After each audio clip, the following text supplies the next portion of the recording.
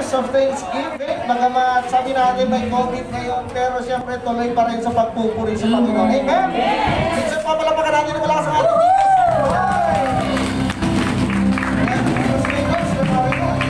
silang tumayo. Kumain na po tayo para po tayo ay makapag-umpisa at manalangin para sa ating um, Yahweh El Shaddai. Amen. Tayo po ay tumulog muna sa ating Diyos sa buhay sa ngalan ng Ama, Anak, Espiritu Santo. Amen. Ama naming Diyos na makapangyarihan sa lahat, nagpapasalamat kami sa iyong masaganang habag at biyaya na iyong patuloy na ibinuhos at ibinubuhos sa gawain. Sa lahat ng mga kapatiran, sa lahat ng mga magagawa, sa lahat ng mga taong nagtitiwala sa iyo, sa lahat ng anak mo, Yahweh at Shaddai. Narito kami sa araw na ito ng desisyong tumalo sapagkat nais ka namin pasalamatan sa lahat ng iyong kabutihan, katapatan, sa lahat, Panginoon, ng mga himala na aming tinanggap mula sa iyo. Sa lahat, Panginoon, ng mga mabubuting bagay na aming naranasan, maging sa mga pagsubok na aming napagtagumpayan, mga karamdaman na aming napagtagumpayan, mga suliranin sa aming pamilya na aming napagtagumpayan, maging Panginoon ang gawa ng kaaway na patuloy na aming pinagtatagumpayan. Sa oras na ito, yung tagumpay na yan ay inaalay namin sa iyo. At sa oras na ito, Panginoon, kami nagagalak kasi alam namin sa habang panahon sinamahan mo.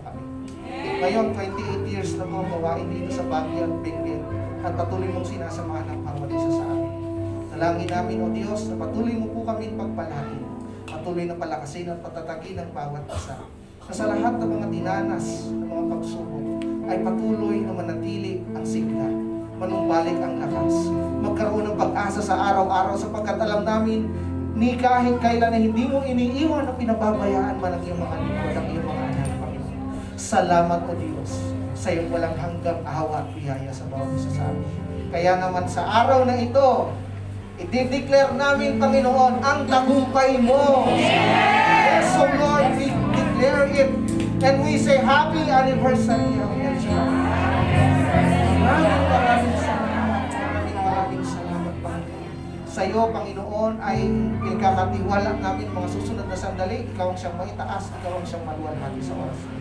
Sa banal na pangalan ni Jesus. Amen. Sa ngalan ng Ama, ng Espiritu Santo.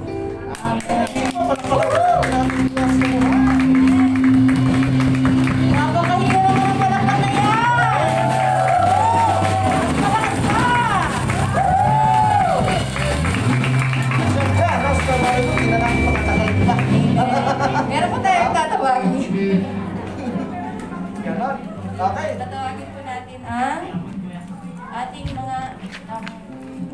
Parang dami. mga, mga pero may representative. Ah. Ang Okay. ating um, Council of the Month, si Nanay um, Carol Acosta para po sa ating opening remarks. Po, pwede po muna tayo maupo. Amen. Yan. So, ganon.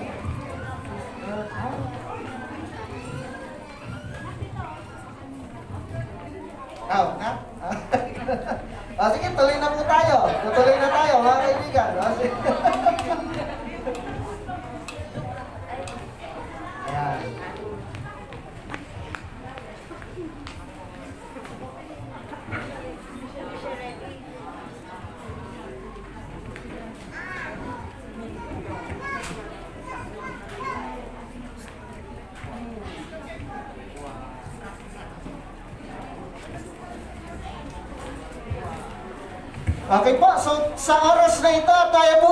31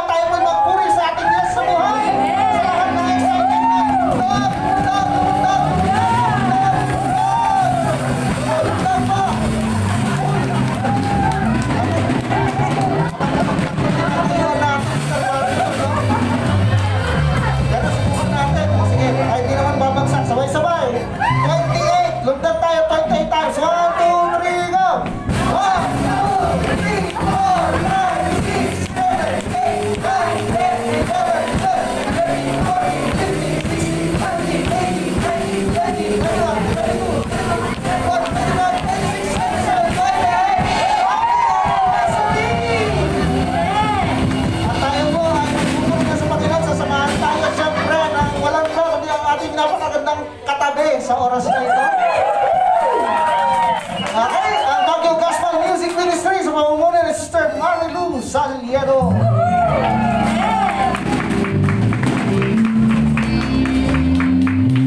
Amen!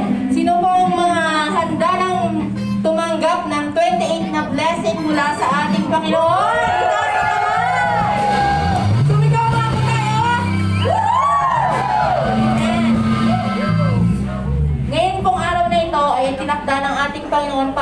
tayo makapag-celebrate. Amen? Amen? Ang araw po na ito ay hinihanda ng Panginoon para sa atin.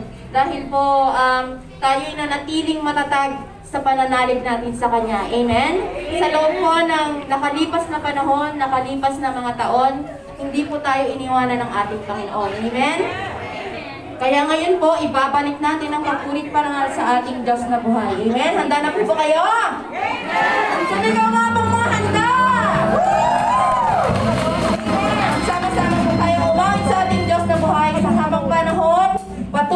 sasamahan ng ating Panginoon. Hallelujah! Itas natin ang mga kamay! Thank.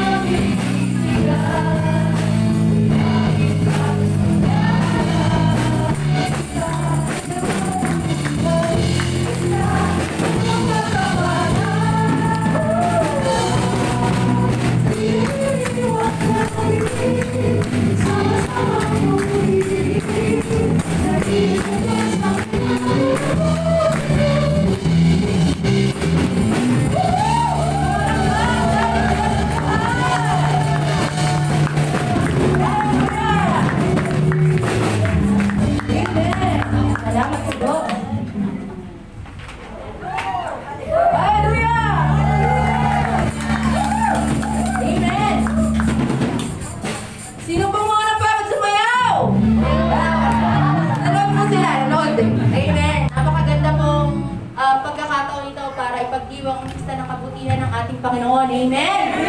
Amen! Amen! Hallelujah! Yung simpleng paggalaw lang natin po, pag palakpak lang natin sa Panginoon, ah, isang pagpapakita po yan ng gratefulness natin sa kabutihan ng ating Diyos na buhay. Amen! Amen! Amen! Hallelujah! Ngayon po, i-share ko lang po ng konti, ano, yung pinagdaanan kong journey dun sa, ah, mula dun sa, yung week na paghahanda namin sa anniversary. Kasi napaka, kumbaga sa pasyente parang critical. critical talaga kasi dun po yung, meron kang, pag yung tao po ay may isang goal sa buhay na gustong maabot, talagang pipilitin mo yan. Lala, lahat gagawin mo para maabot mo. Amen? Lahat po tayo may goal. Amen? Amen. Lahat naman po tayo may mga plano sa buhay na nais na ah, nating matupad. Ako po, ah, meron po akong commitment kay Lord na nais ko laging ibigay sa Kanya. Every anniversary ko pong uh, kinukumit yung sarili ko na patuloy kong tutulungan yung mga youth sa kanilang uh, pagpe-present. Kaya salamat sa Diyos dahil akala ko po talaga hindi ako aabot dun sa sa goal ko kasi napaka ano na ng oras ko, konting-konti na lang. Lahat po ng mga paraan na pwede kong gawin, ginawa ko na. Pero salamat po sa Diyos, sa katakilaan po ng Diyos dahil sinamahan niya po ako.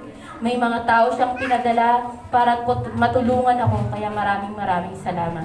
Tunay nga pong napakadakila ng ating Diyos. Amen? Dahil po hanggang ngayon, ligtas tayo sa sakit. Amen? Amen. Hallelujah. Itaas po natin ang mga kamay. Alam niyo po, itong awitin na to, napakalaking um, parte to ng buhay ko dahil nais kong ipahayag sa Diyos kung gaano siya kadakila sa atin, sa ating lahat. Amen? Awitin natin lahat ng awit na ito.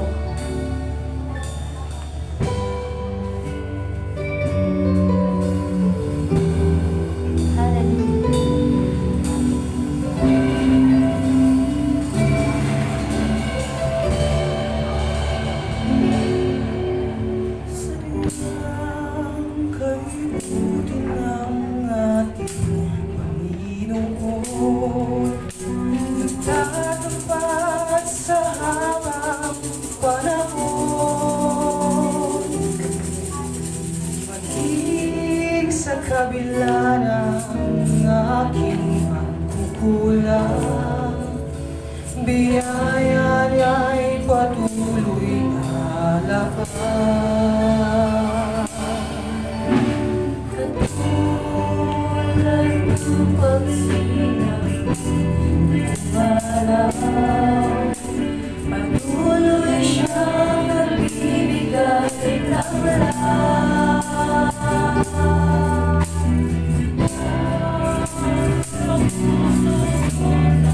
Hallelujah,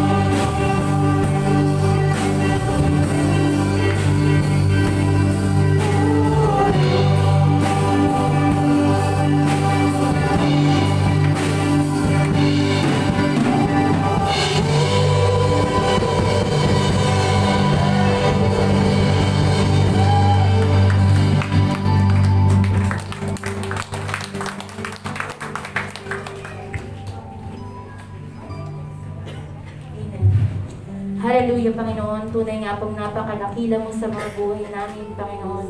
Sapagkat sa mga nararanasan naming pandemic ngayon, Panginoon, patuloy mo kaming iniingatan, Panginoon. Lord, maraming maraming salamat, Panginoon, sa mga buhay na patuloy mong pinagkakalob sa amin sa araw-araw, Panginoon. Sa kaligtasan ng aming mga pamilya, Panginoon. Sa pagpapalang patuloy na bumubuhos sa aming mga pamilya, Panginoon. Lord, maraming maraming salamat pagkat hindi mo kami iniwan sa loob ng labi, ah, 28 taon, Panginoon. Hindi mo kami pinabayaan, Panginoon. Maraming salamat, Panginoon, pagkat um, hindi mo iniiwan ang mga pamilya namin, Panginoon, na ah, kahit lumalabas kami, Panginoon, pagdating namin, kami ligtas, Panginoon, pagkat ikaw, ikaw lamang ang nagbabasbas sa amin, Panginoon. Maraming salamat, Panginoon, at, at sa iyo lamang ang papurit parangal sa pangalan ni Jesus. Amen. So malakas sa palakpak sa ating Diyos. Ay! Ayan, ayan,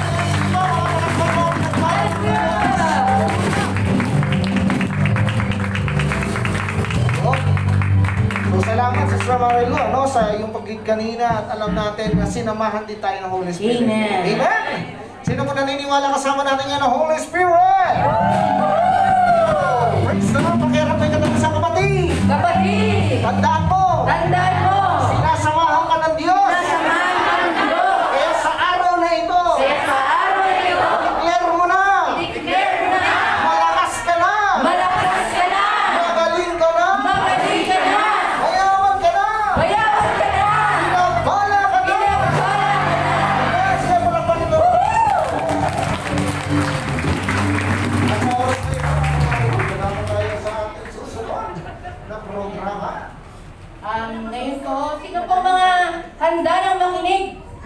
salita ng Diyos? Itaas nga po mga kamay! Amen. Dadako po tayo sa ating um, inspirational talk. Gagamitin po ng ating Panginoon ay ang ating kapatid, Sister Joyce Fadri. Amen. Ihanda na po natin ang ating mga sarili sa pakikinig.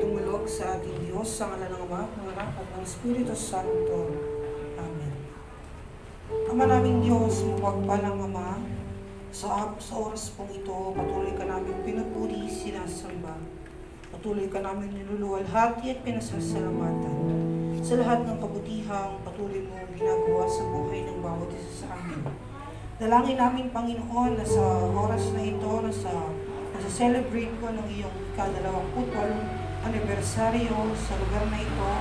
Dalangin ko, Panginoon, na ibuhos mo ang lahat ng pagpapala sa buhay ng bawat isa sa amin. At naniniwala kami, Panginoon, na kaya kami naparito dahil meron kang napakalaking purpose sa buhay namin. At inaangkin na po namin, Panginoon, na anuman, Lord, yung mga salitang aming pumapakinggan sa pamamagitan mo, Panginoon, ito po nawang magsilbi naming lakas, magsilbi naming gabay, at magsilbi naming um, kagalingan sa lahat ng uri ng sakit karamdaman. Sa pangalan ni Jesus, sa ngalan ng Ama at ng at ng Espiritu Santo. So my dear brothers and sisters, bago po tayo magsiupo, samahan niyo po muna akong basahin. ang Ephesians chapter 4, verse 1 to 6. Ephesians chapter 4, verse 1 to 6. Kaya't ako na isang bilanggo dahil sa Panginoon ay namamatig sa inyo na mamuhay kayo gaya ng nararapat sa mga tinawag ng Diyos. Kayo'y maging mapagpakumbaba, mabait at matyaga. Magmahalan kayo at magpaumanhinan. Pag sumakitan ninyong mag- magpapanatili ang pagkakaisang mula sa Espiritu sa pamamagitan ng buklod ng kapayapaan. Iisa lamang ang katawan at iisa rin ang Espiritu. Ngayon din naman, iisa lamang ang pag-asa ninyong lahat, dulot ng pagkatawag sa inyo ng Diyos. May isa lamang Panginoon, iisang pananampalataya, at iisang bautismo. Isang Diyos at Ama nating lahat. Siya ay higit sa lahat, gumagawa sa lahat, at sumasa lahat. Mga kapay, ito po ang salita ng Diyos.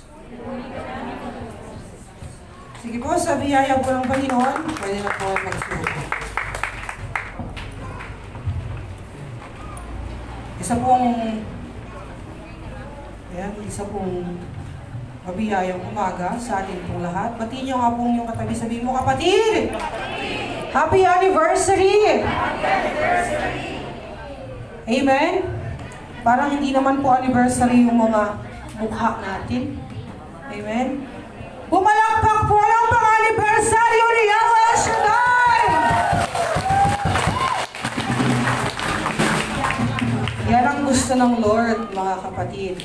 Ano, yung tayo ay maglilingkod na may kagalakan sa ating pong mga labi at sa ating pong puso.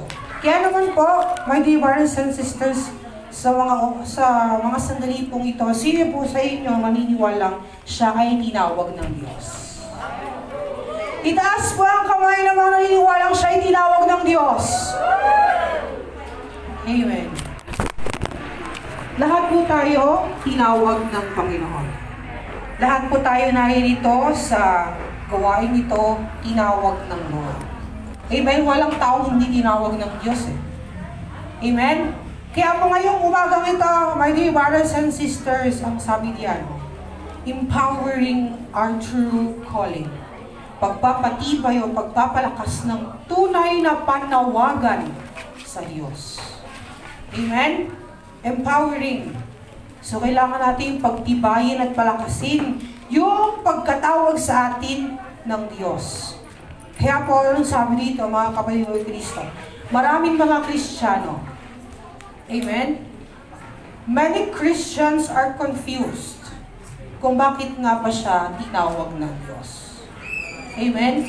Maraming mga maraming mga Kristiyano, marami po sa atin na andoon yung duda kung bakit nga ba ako naririto sa harapan ng Panginoon. O minsan, mga kapatid ko kay Kristo, may mga tao magsasabing, tinawag ako ng Diyos.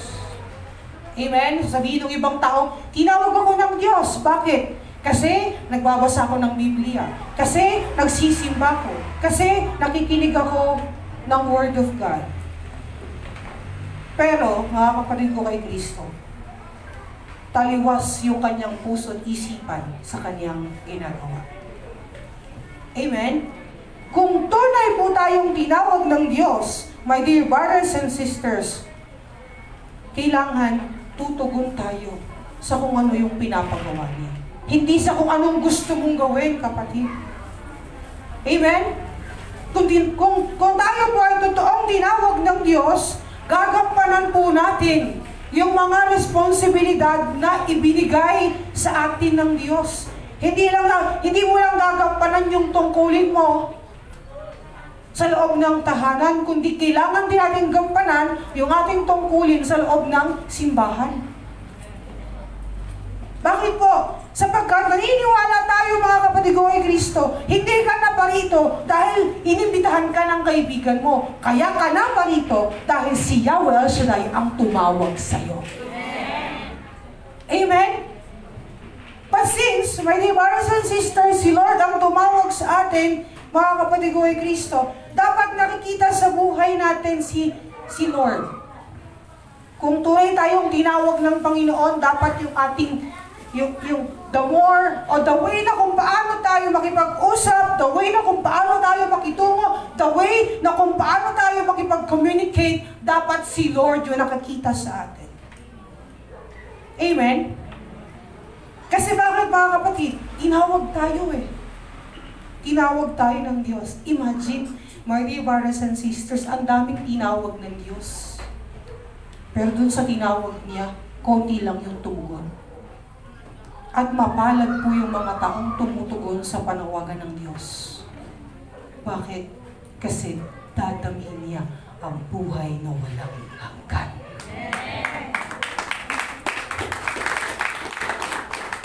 Amen. Minsan sasabihin ng tao, tinawag ako ng Diyos. Pero magbabasa siya ng Biblia kung kailan niya lang gusto. O minsan nga yung Bible, hindi mo ba simula nung binili, hindi pa nabuksan.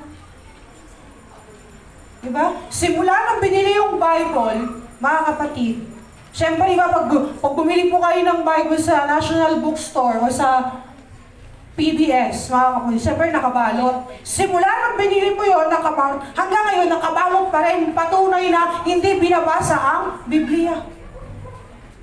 Tapos sasabihin niya, tinawag ako ng Diyos. Imagine, my dear brothers and sisters, maraming mga tao, professional, like teacher, engineer, doktor, architect. Pero bakit kahit sila po'y professional na, hindi pa rin nila magawang maging masaya? Kasi bakit? Hindi kasi yun yung tunay na panawagan nila. Ang totoong panawagan nila, alam niyo po kung ano? Maglingkod sa Diyos. Pwede mo namang gawin na kahit ikaw ay teacher, naglilingkod ka kay Lord. Pwede po yun. Pwede mo namang gawin na habang ikaw ay doktor, pwede mong gawin na naglilingkod ka kay Lord. Kasi bakit, my dear brothers and sisters, naniniwala tayo na sa bawat panahon, sa bawat pagkakataon, may may plano si Lord. Amen? May plano si Lord. Sa palagay niyo ba, pupunta kayo dito kung walang plano si Lord sa buhay niyo? Wala na po akong kausap. Tulog na po ata kayo. At tanungin ko po kayo, sa palagay niyo po ba, pupunta po ba kayo dito kung walang plano si Lord sa inyo? Siyempre hindi. Di ba? Pumunta ka sa gawain ito sapagkat naniniwala ka na kapag napakinggan mo ang salita ng Diyos, ano man ang kahilingan mo, kapatid ko kay Kristo, mamaya pag uwi mo, answered prayer na tayong lahat. Amen? Kaya po ang totoong taong tumutugon sa panawagan ng Diyos, ginagawang pagkain yung kanyang salita. Amen? Ginagawa dapat ating pagkain yung salita ng Diyos na dapat hindi ka papayag na hindi ka makakapakinig ng Word of God. Kasi may mga taong okay lang na kumain. Yes, kumakain tayo physically, but my dear brothers and sisters, ang pagkain po ng ating spiritual ay salita ng Diyos. Amen? Mabubusog po ba yung ating spiritual na pananampalataya kung tayo kakain physical? Hindi. So meaning to say, my dear brothers and sisters, si Lord ang kasagutan sa lahat. Tinawag tayo ng Panginoon dahil gusto ng Lord na gampanan mo yung kanyang, yung tungkulin iniatag niya sa iyong balikat. Amen? Kaya parang sabi ngayon, how to find three things to find your true calling from God. Three things to find your true calling from God. So how to find your true calling from God, mga kapatid ko in Kristo? Paano mo malalaman yung totoong panawagan sa iyo ng Diyos? Kasi, kaya ka naririto because gusto mong ibalik sa Diyos yung papuri at pasasalamat sa Kanya. Amen? Yung una po, yeah. three things to find the, uh, the, the true calling From God? Ayan. From the glory of God. Si Lord, mga kapatid ko Kristo, sa umagang ito, nabibless sa ating lahat. Nabibless siya. Bakit? Paano kung nasabi na nabibless si Lord? Sapagat alam ng Diyos, mga kapatid ni Kristo na lahat tayo, may mga gampanin sa ating mga tahanan, pero iniwan mo yun para sa Kanya. Amen? Na kahit ang aga-aga mong gigising, bali wala yun sa'yo, kasi gusto natin na mag-glorify si Lord. Amen? Dahil saka gusto nating mag-glorify si Lord, my dear brothers and sisters, yun pa lang mga kapatid ko yung Kristo, patunay na tinawag ka niya. Kasi kung, kung hindi ka tinawag ng Lord para sa'yo, baliwala lang eh. Mamaya na ako pupunta ng gawain kasi maaga pa naman, hindi pa naman ako late eh. Gusto mong i-glorify si Lord, pero yung panawagan niyang umatin ng gawain, yung panawagan niyang dumalo ng anibersaryo, wala. Sa palagay niyo, mag-glorify si Lord? Hindi. Kaya po ano pong sabi sa 1 Corinthians chapter 10 verse 31. Kaya nga, kung kayo'y kumakain, umiinom, o ano man ang ginagawa ninyo, gawin ninyo ang lahat sa ikararangal ng Diyos. Napakalinaw pong sinabi ng Diyos. Ano man ang ginagawa mo kapatid, kumakain ka man, umiinom ka man, nagwawalis ka man, naglalaba ka man, kailangan ginagawa mo ito para sa ikararangal ng Diyos. Amen?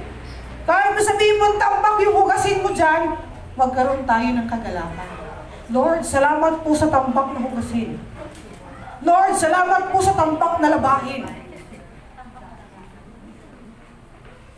Amen? Lord, salamat po sa napakakalat na bahay. Dapat mga kapatid, lahat ng ginagawa natin may kagalakan.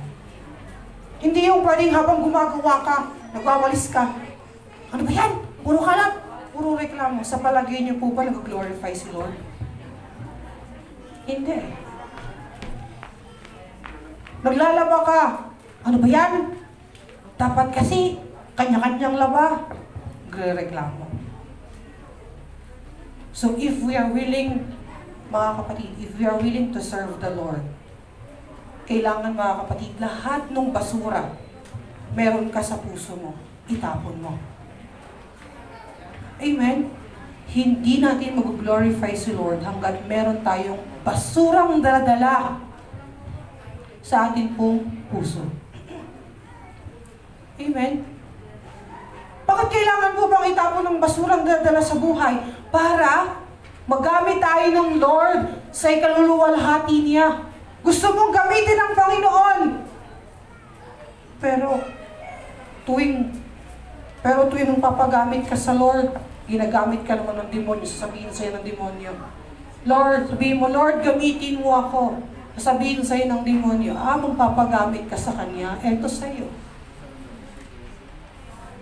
Ah, di ba? Anong gagawin niya? Bibigyan ka niya ng sakit, mahihilo ka kunwari, sasakit ang ulo, sasakit ang tiyan, lahat na eh. Para hindi tayo makatugon sa totoong panawagan ng Diyos. Many of us, my dear brothers and sisters, nagkakaroon na lang ng reason out para hindi magampanan yung tungkulin natin sa Panginoon.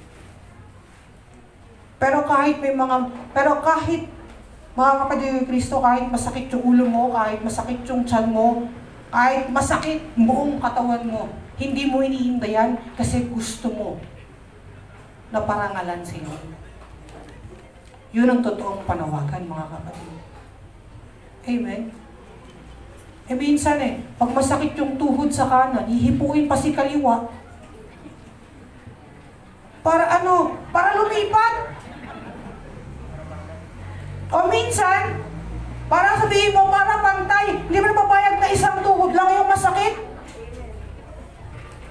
Ibig sabihin nun, my dear brothers and sisters, kapag ganun na, kapag, nag, kapag nagkaroon na tayo ng reason out when it comes sa paglilingkod sa Diyos, unti-unti na tayong manghihina. Kapag nasimulan yan, mga kapatid ko Kristo, tuloy-tuloy na po yan. Sinasabi ko po sa inyo. Pansinin niyo po, isang beses ka lang umabsent, sunod-sunod na. Pero, kahit may masakit sa'yo, sige lang Lord. Sige lang Lord, panawagan ko to. Sige lang Lord, gagampanan ko yung panawagan ko sa'yo. Sasabihin ko sa'yo, my dear brothers and sisters, kahit buong parte ng katawan mo masakit, pag ginampanan mo yung panawagan ni Yahweh Shaddai, pagkagalingin ka niya mula ulo hanggang talampakan. Amen. Kasi gusto ng Lord, my dear brothers and sisters, na sa lahat ng ginagawa natin, siya yung ating ginaglorify. Hindi mo pwede i-glorify ang tao. Kundi ginaglorify mo, sino? Sino? Si Lord. Kung si Lord yung ginaglorify natin, hindi pwede sa Kanya yung pwede na. Kung gusto mong i-glorify si Lord, give your 100% best to the Lord. Amen. 100% mga kapatid. Hindi yung Lord anniversary mo. A-attend ako. Then after anniversary, wala na. Kasi bakit? Kasi Lord, answered prayer na ako sa anniversary mo. Yung susunod, di ka ba pagkapalain? So kaya tayo naririto, my dear brothers and sisters, para i-glorify natin si Yahweh. Amen? And the second po, yung second, ayan. Ayan.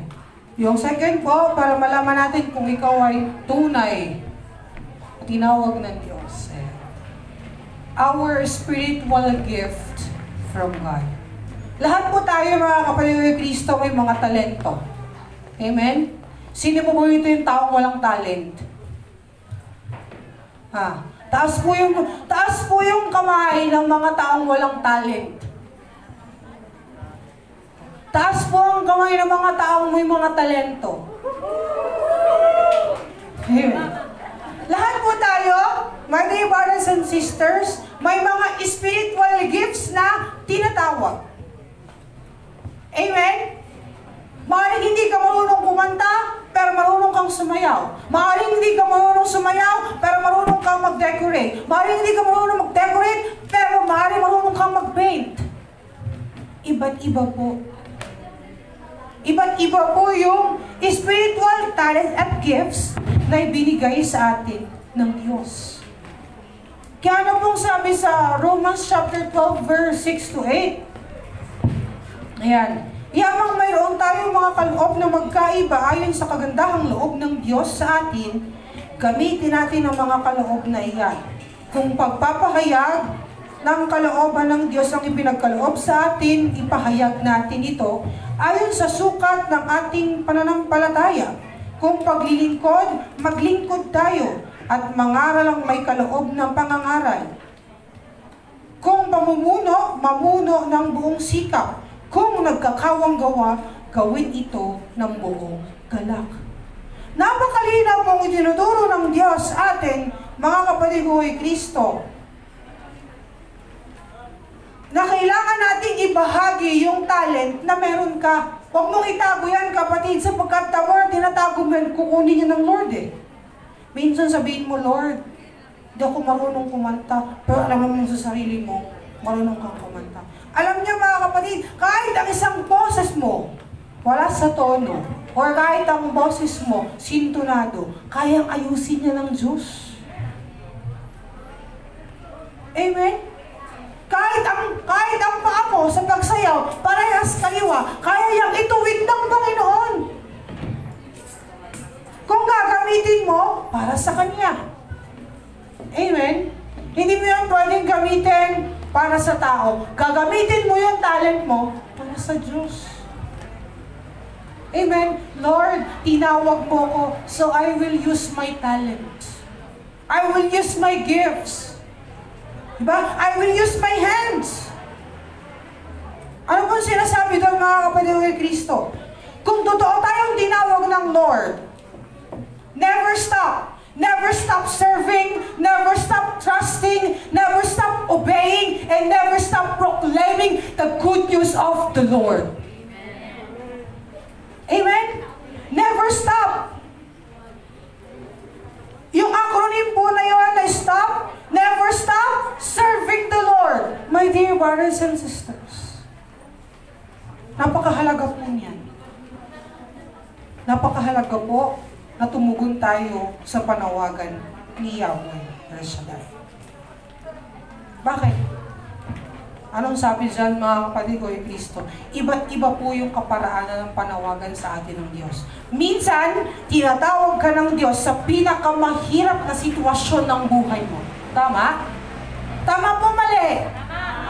Kung saan ka nakaranas ng pinakamahirap na sitwasyon ng buhay mo, doon ka tinawag ng Diyos. Kasi bakit? Doon ka niya gagamitin. Amen? Sa palagay niyo po ba, ni Sister Joyce, ginustong maging preacher? Hindi! Pero dahil tinawag ako ng Diyos, mga kapatid Kristo, kailangan kong gampanan yung panawagan sa akin ng Panginoon. Nung simula, hindi ko nga alam kung paano magbasa ng Bible eh. Nung simula, hindi ko alam kung paano ko ipapaliwanag eh. Pero kapag nagpagamit ka sa Diyos, yung hindi mo alam, tutulungan ka niya. Amen? So, malalaman mo na ikaw ay tinawag ng Diyos kapag ginamit mo yung spiritual gift mo nang wala sa Kanya. Huwag niyo pong ikahiyayan, huwag niyo pong itago, mga kapatid. Kasi, ang mga bagay na yan na magiging instrumento para tayo ay pagpalain. Amen? So, ibig sabihin, my dear brothers and sisters, ano man ang posisyon mo, ano man, di ba? Ano mang estado ng buhay mo, hindi mo pwedeng sabihin sa Lord, na Lord, mayaman na ako eh. Hindi ko na kailangan maglingkod sa iyo. Hindi po ganon. Dapat mga kapatid ni Kristo, nung nagsisimula ka pa lang, umangat, maglingkod ka sa Diyos. Dahil yung hindi magagawa ng tao, gagawin ni Yahweh Shaddai sa buhay ng bawat isa sa atin. Amen? So use oh, your spiritual gifts from God. And pangatlo po, and finally, your unique personality from God. Tumingin nga po kayo sa katabi nyo kung kamukha nyo yan. Tumingin po kayo sa likod nyo kung meron kayong kamukha. From the word unique, my dear brothers and sisters, tinawag ka ng Lord kasi unique ka, kapatid. Diba? No one exactly like you and no one exactly like me. Kaya nga po sabi ko, tumingin kayo sa katabi nyo kung nandyan yung kamukha nyo eh. Unless, kaharap nyo sa lamin. Amen? Unique personality. Magkakaiba po tayo, mga kapatid. Magkakaiba ng attitude, magkakaiba ng character. Di ba? Magkakaiba ng pagkatao. But it doesn't mean hindi ka tinawag ng Diyos. Minsan, mga kapatid, alam niyo kung sino pa yung tinatawag? Yung pinaka-worst na tao sa mundo. Yun po ang totoo. Minsan yung tinatawag pa ng Diyos. Yung parang yung buhay niya wala nang kwenta. Pero bakit siya yung tinawag ng Diyos? Kasi unique yung personality niya eh. Gustong hubugin ng Diyos yung pagkatao natin. Kaya tayo naririto sapagkat gusto nating magpahubog. Tama? Kaya tayo naririto sa gawain ng Panginoon sapagkat gusto nating magpahubog sa Kanya. So meaning to say, unique ka kapatid. Unique ka. So ibig sabihin, sa Panginoon, hindi siya tumitingin sa kulay, sa lahi, sa itsura. Ang tinitignan po ng Diyos kung gaano kabusilak yung puso mo para sumunod sa kanyang panawagan. Amen? Hindi naman sinabi ng Lord, ay ito, tatawagin ko kasi may pera yan eh. Eh paano pag walang pera, hindi na pwedeng tawagin? Hindi po. Ibig sabihin, my dear brothers and sisters, ginawa tayong, nilikha tayo ng kawangis ng Diyos. So meaning to say, wala ka dapat ikahiya. Wala ka dapat ikahiya. Sabihin mo sa katabi mo, kapatid, tinawag ka ng Diyos. So wala ka dapat ikahiya. Be proud to yourself, my dear brothers and sisters. Amen? Maging proud po kayo sa sarili niyo. Kasi walang ibang magiging proud dyan kundi kayo lang. So para malaman natin na tayo po yung totoong tinawag ng Diyos, huwag kang babase sa kung anong itsura mo, kung anong kulay mo, anong lahi mo. Ang importante, ginagawa mo yung responsibilidad mo na pinapagawa sa'yo ni Yahweh El Shaddai. Amen?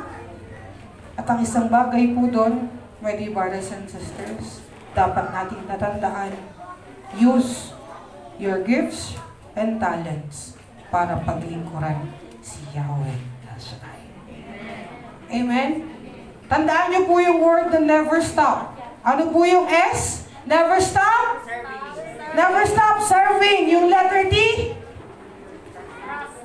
Never stop serving, never stop trusting, never stop obeying, and never stop proclaiming. At kapag itong apat na acronym na to, mga kapatid kay Kristo, itinatak mo sa isip mo, ano ba ang mga bagay yung binublong-blong ng demonyo sa'yo, magpapatuloy ka. Kasi bakit? Tayo ay totoong tinawag at pinili ni Yahweh El Shaddai. Palakpakan po natin si Yahweh El Shaddai.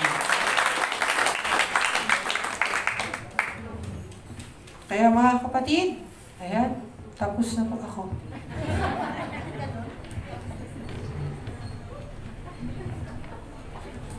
Amen. Salamat, Sister Joyce. Pwede ba natin palakpakan ng ating Panginoon? Salamat sa very inspiring na sharing sa atin ating kapatid, Sister Joyce. At sa oras na ito, handa na po ba tayo para sa ating banal na misa? Yan. So tayo po ay ma- maghanda na no, para sa ating pinakamataas na uri ng pagsamba, ang banal na misa. At sa mga naririto po na magpe-prepare, siguro Ah, sa mga gusto pong mag-CR, sige, pwede na po muna ka ngayon while preparing para hindi na po tayo ah, lakad ng lakad mamaya. Ha? Amen. At saka reminders po, ano, mga nanay at tatay, mga brothers and sisters, social distancing po, i-maintain po natin. Pakihiwalay-hiwalay po yung mga upuan kasi medyo dikit-dikit na po tayo para po masunod natin yung health protocols. Amen! Amen. Amen! Yan. At syempre, Sister Marilu, sino ang gagamitin ng Panginoon bilang pinaka main celebrant natin ngayon sa ating panalangin? Si Reverend Father Mariano Talay. Yan. Pwede po ba natin palapakan ng ating Diyos sa buhay? Yan. Sa mga nais po na mag-CR, CR na po muna kayo ngayon para wala na pong lakad ng lakad mamaya. Pakicheck po ang inyong social distancing and at the same time, ano, be attentive po tayo sa ating banal na misa.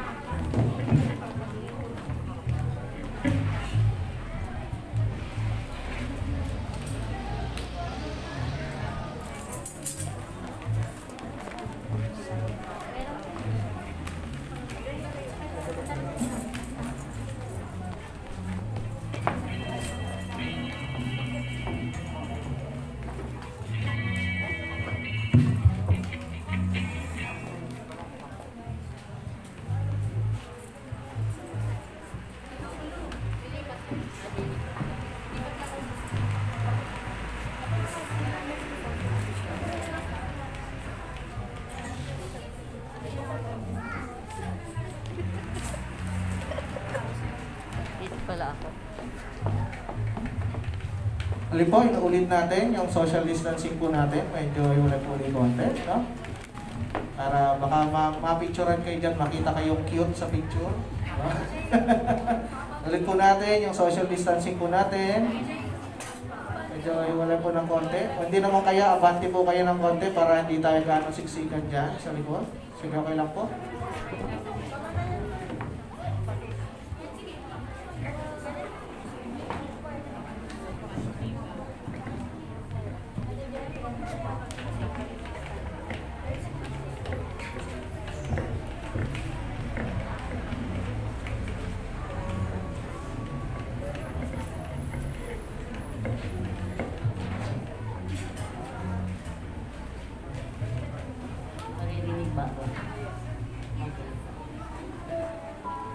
Morning, brothers and sisters.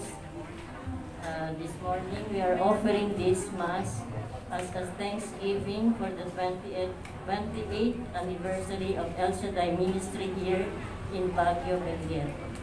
We also offer this Mass as a thanksgiving for all the blessings and graces received offered by Gift of Life of Eva Eloy Sampang and Eric Sampang, Sister Nati Gabino and family, Mr. and Mrs. Flo- Floriano Madriaga and family, Brother Wilson Ancheta and Resita Ancheta and family, Sister Regine Ortiz and family, Sister Lori Ducusin and family, Sister Remy Ma- Makapit and family, Sister Adela Floraga and family, for the gift of life of Ryan Florage, Sister Pina Payocong, Sister Marcela Lecino, Nicolas family, Brother Victor Esquejo Jr. and family, gift of life of Jovenic Esquejo. Special intentions offered for by Isagani S. Gavino.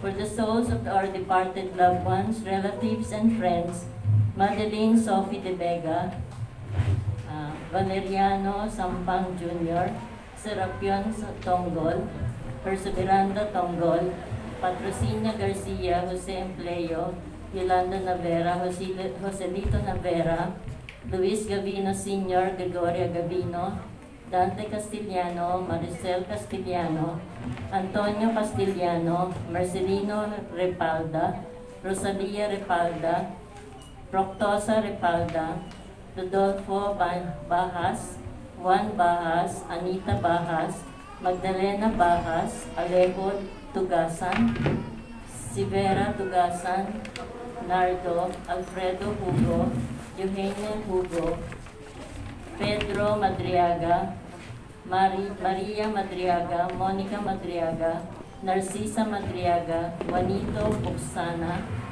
Bukasana, Romeo Bukasan, sorry, Victoria Bukasan, Delia de Belen, Ricardo de Belen Jr., Senior the Third, Andrea del Rosario, Evelyn Betudaso, Milanio Villanueva, Ricardo Lu Lira, Pasita Budeng, Reginaldo Geraldo Florage, Francisco Florage, Alejandria Florage, Reynaldo Nicolas, Edilberto Magpantay, J.R. Nicolas, Felicissima Magpantay, Nicolas Matayan, Emilio Magpantay, Leticio Amazona, Edgar Agubat, Aglubat, Vicente Aglubat, Lydia Amado, Antoinette Rosal, Fatima Kamalaw, Ponce Ibtable, Norberta Maglaki, Mary Ignacio, Lylene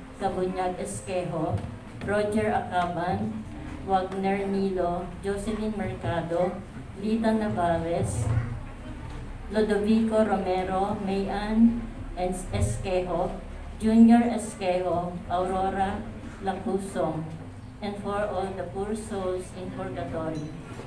Our priest presider for the day is Reverend Father Mariano Talay. Let's all stand.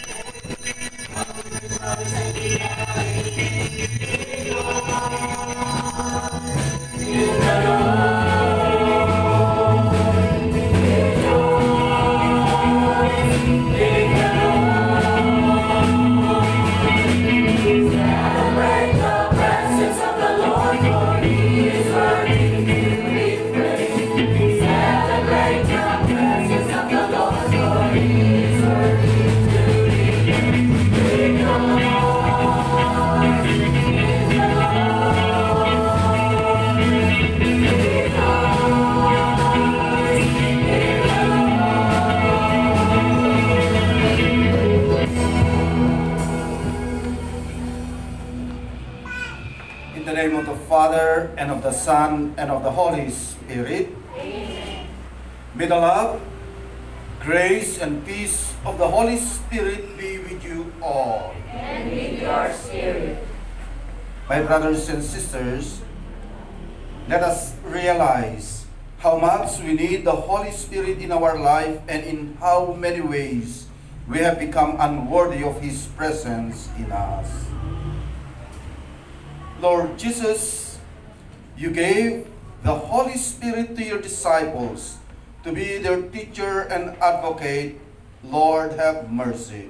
Lord, have mercy. Lord Jesus, you gave your church the Holy Spirit to lead her into the whole truth. Christ, have mercy. Christ, have mercy. Lord Jesus, you gave your church the Holy Spirit to be the source of forgiveness and sanctification. Lord, have mercy. Lord, have mercy. And may Almighty God have mercy on us, forgive us our sins, and bring us to life everlasting. Amen.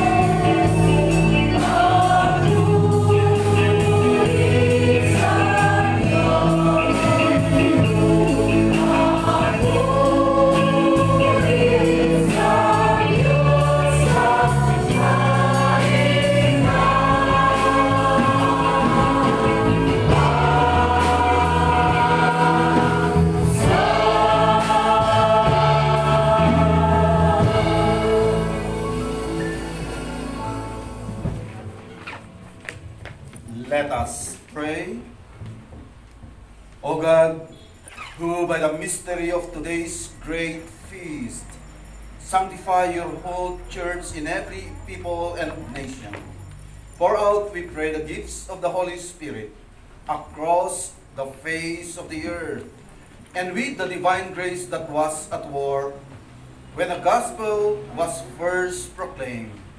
Fill now once more the hearts of believers. Through our Lord Jesus Christ, your Son, who lives and reigns with you in the unity of the Holy Spirit, one God, forever and ever. Amen. We all sing. The Liturgy of the Word. The descent of the Holy Spirit on Pentecost Day fulfilled the promise made by Jesus at the Last Supper and before he ascended into heaven. From that moment on, mankind started becoming the new people of God, characterized by harmony and brotherly, sisterly love.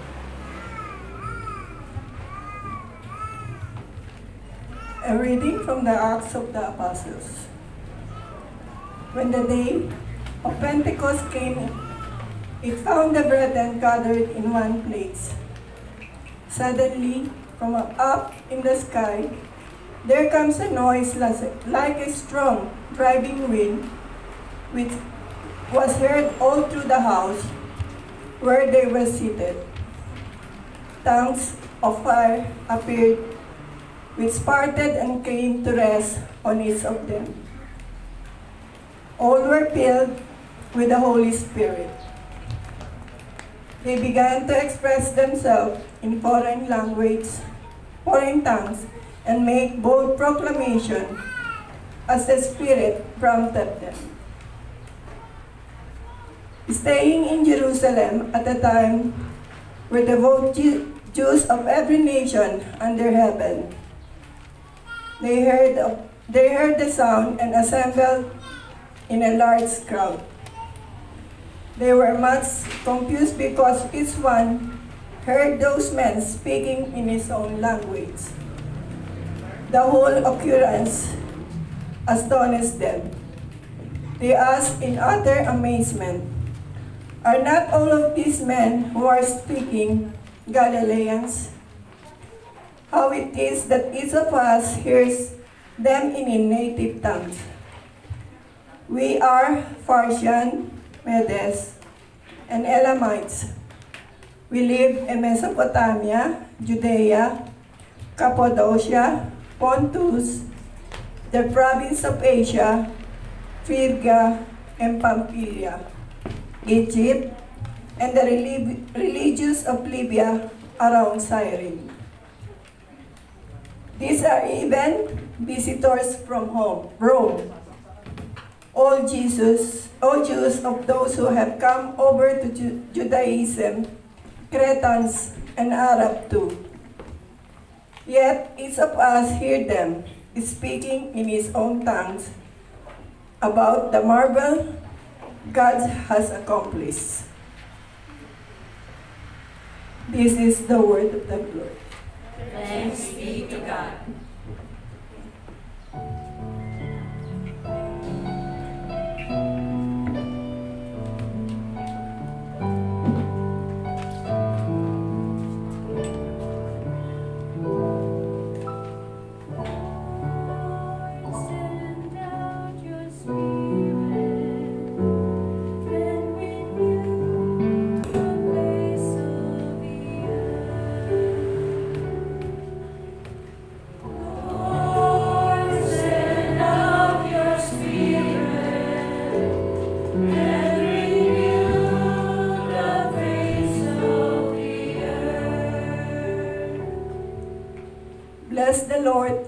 Soul. O Lord, my God, you are great indeed. How manifold are your works, O Lord. The earth are full of your creatures.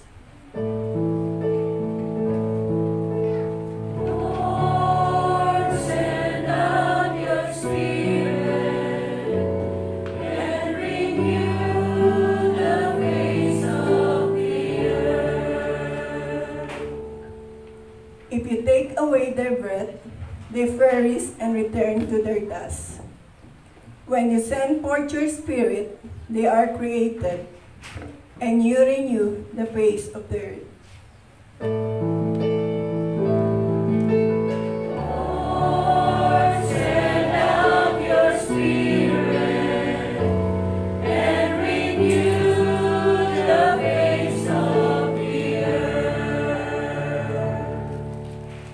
glory of the Lord endure forever. May the Lord be glad in his word. Pleasing to him, be my theme. I will be glad in the Lord. Lord, send out your spirit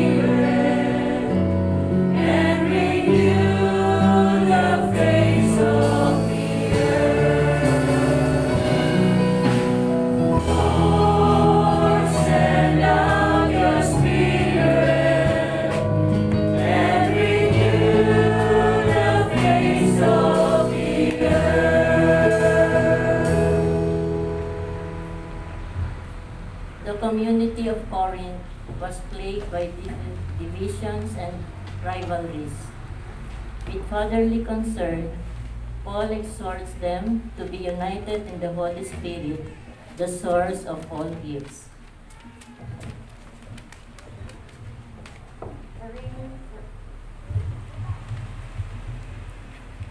A reading from the first letter of Paul to the Corinthians. No one can say, Jesus is Lord, except in the Holy Spirit. There are different gifts, but the same Spirit. There are different ministries, but the same Lord. There are different works, but the same God, who accomplishes all of them in everyone. To each person, the manifestation of the Spirit is given for the common good. The body is one and has many members, but all the members, many though they are, are one body. So it is with Christ. It is in one Spirit that all of us, whether a Jew or Greek, slave or free, were baptized into one body. All of us have been given to drink of the one Spirit. The word of the Lord. Thanks be to God. We all stand.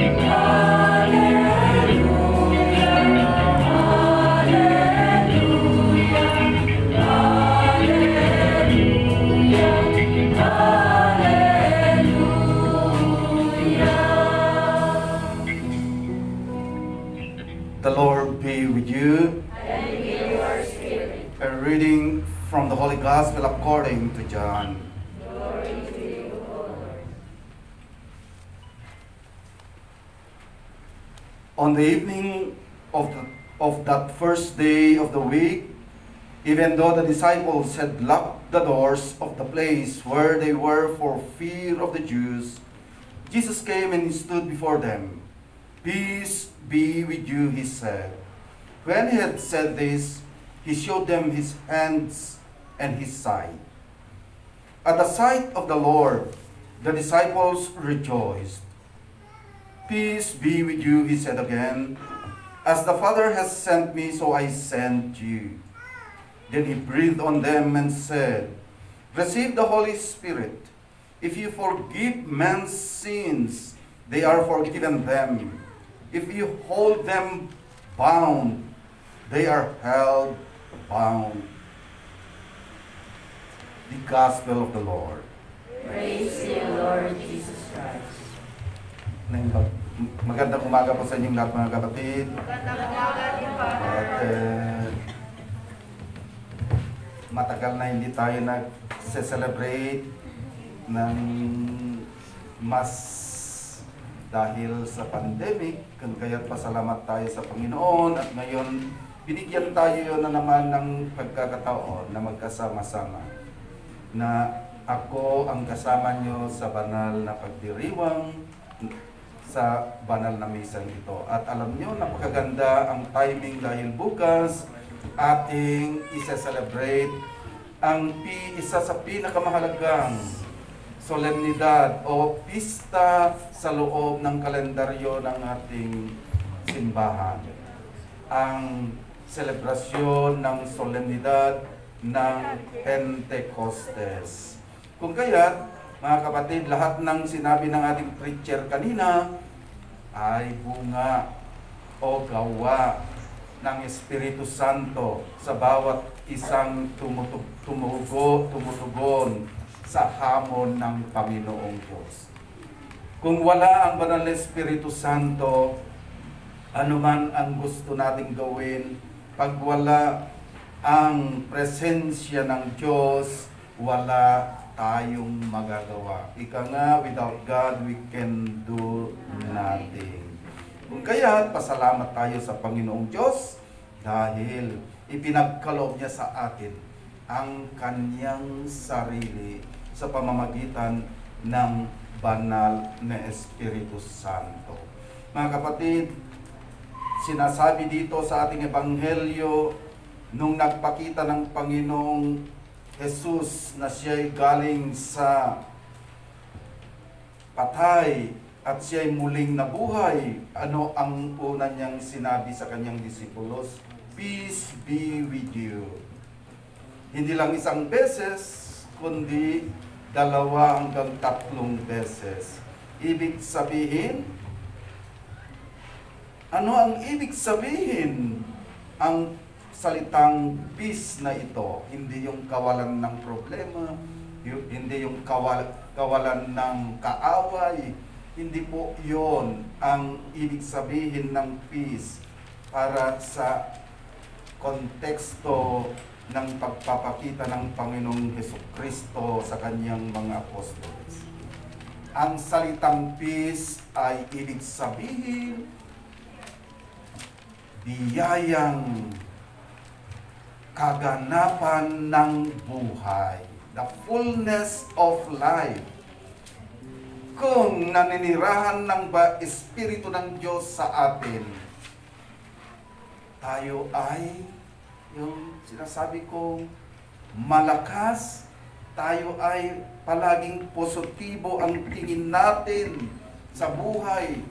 Tayo ay punong-puno ng tiwala sa Diyos at alam natin na lahat ng bagay ay kaya natin harapin.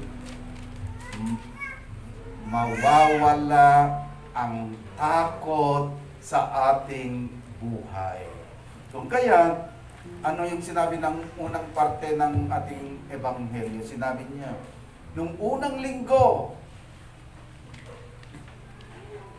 the first day of the week, sinabi, kahit nagtago yung mga disipulos, kahit nilak nila yung mga doors nila, takot pa rin sila. Sige, tingnan nyo. Takot. Ano yung itinugon ng ating Panginoon sa kanilang mga takot? Peace. Ibig sabihin, nandito na ang Espiritu ng Diyos. Kung kaya, wa- huwag kayong matakot.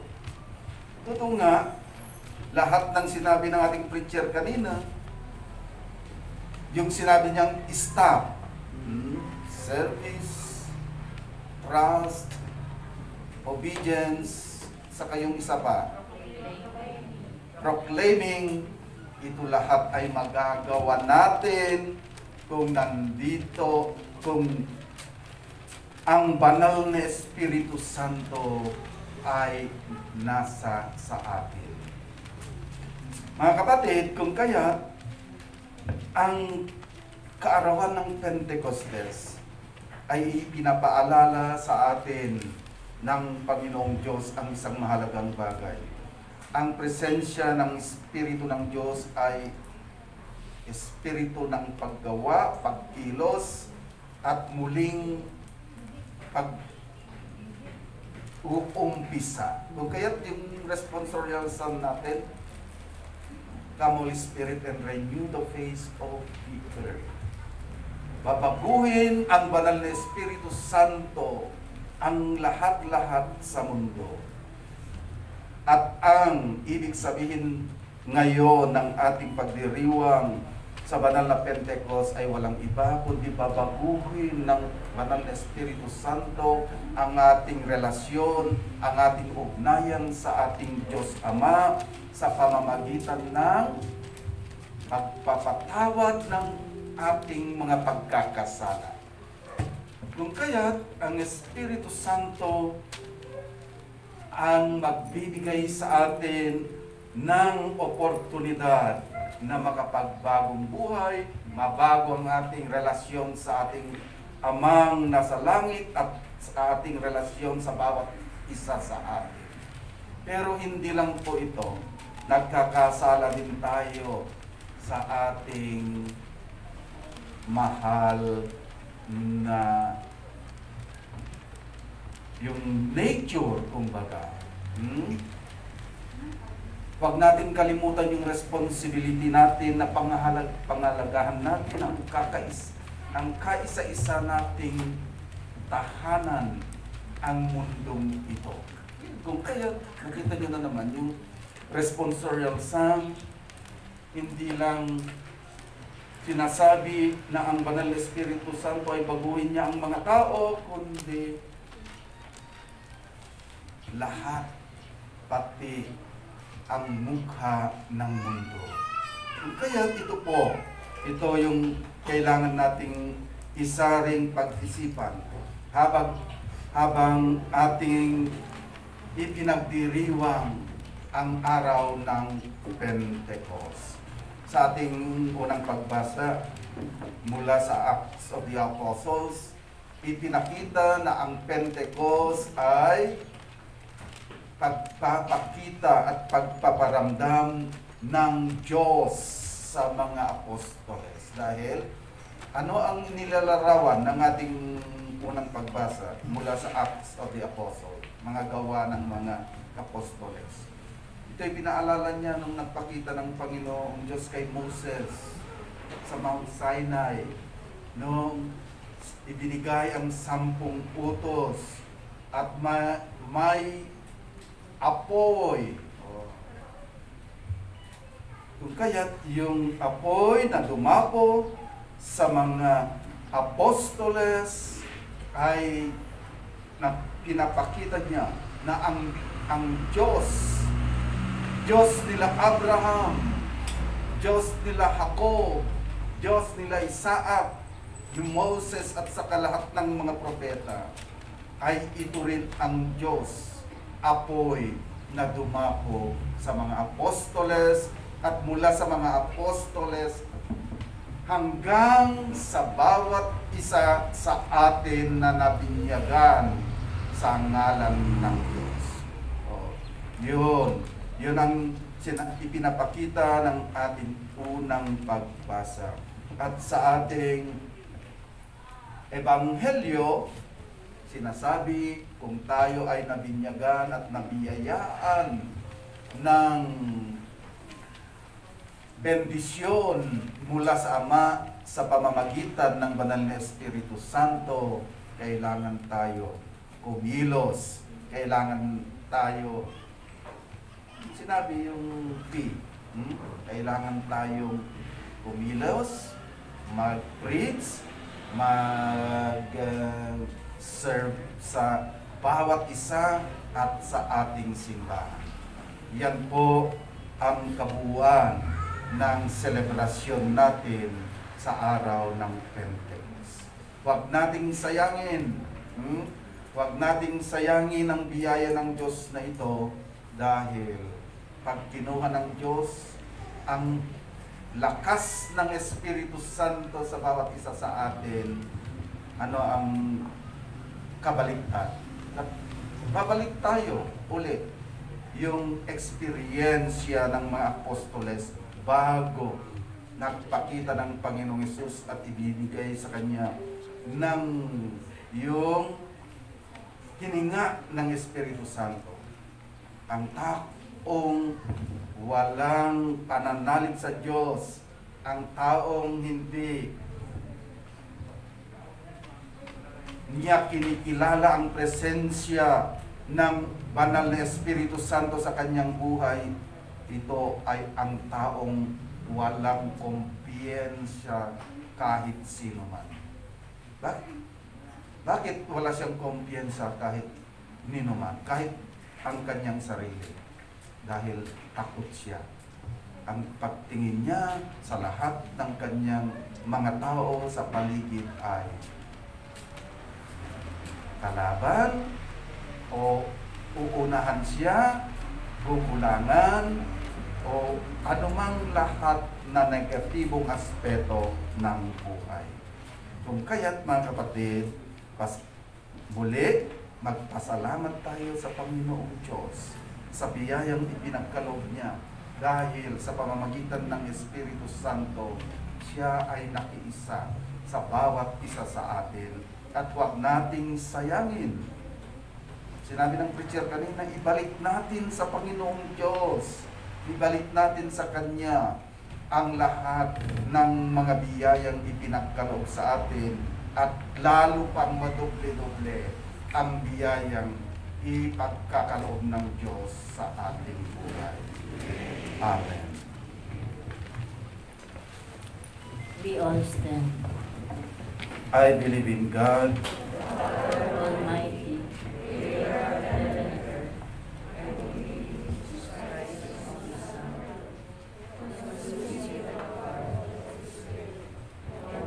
Virgin Mary, was crucified, died, and was buried.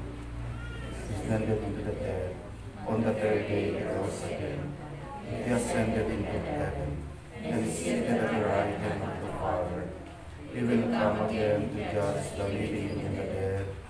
And believe in the Holy Spirit, the Holy Catholic Church, and the communion of saints, the forgiveness of sins, the resurrection of body, and life everlasting. Amen. Prayer of the faithful. Aware that we need the Holy Spirit's help to live up to the challenges of our Christian commitment, we pray. Come, Holy Spirit, we need you. Come, Holy Spirit, we need you. that the whole Catholic Church may be at all times an instrument of reconciliation, a promoter of unity among all peoples. Let us pray. Come, Holy Spirit, we need you. That the Holy Father and all the other leaders of the Church may constantly provide the faithful with an inspiring leadership. Let us pray. Come, Holy Spirit, need you. that all those engaged in the teaching or profession may instill authentic values in their students. Let us pray Come, Holy Spirit, we need you. that all the civil leaders throughout the world, especially in our country, may be guided solely by concern for the common good. Let us pray. Come, Holy Spirit, we need you.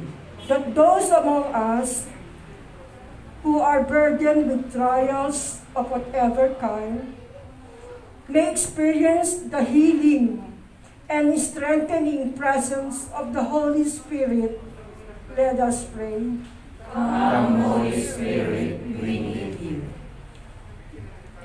We thank you, Lord, as we celebrate the 28th anniversary of El Shaddai Ministry here in Baguio Benguet, that you may continually guide us, strengthen us, and deepen our faith in Christ Jesus as our Savior, healer, and provider. Let us pray. Come, Holy Spirit, we need you. For our servant leader, Brother Mike St. Velarde, that our dear Lord may anoint him more and more of his divine wisdom to accomplish the goals and visions of our strong church. Continually bless him with good health and long life, with peace and joy in his heart. Bestow upon him the grace of diligence and remain to be a good spiritual model and a strong leader, giving us hope. The hope we have in you, Christ Jesus. Let us pray. Holy Spirit, we need you For all workers of the ministry, that our triune God be with them, guide them always in all circumstances as they do the mission as Christian disciples to keep them physically, emotionally strong with a sound mind, and strengthen their faith and the grace of patience, humility, and courage be upon them as they spread the gospel of salvation. Let us pray.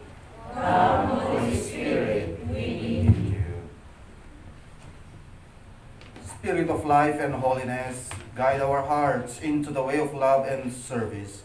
May we be valid instruments in the building of the kingdom where you live and reign with the Father and the, and the Lord Jesus, one God, forever and ever. Amen. Let us all be seated.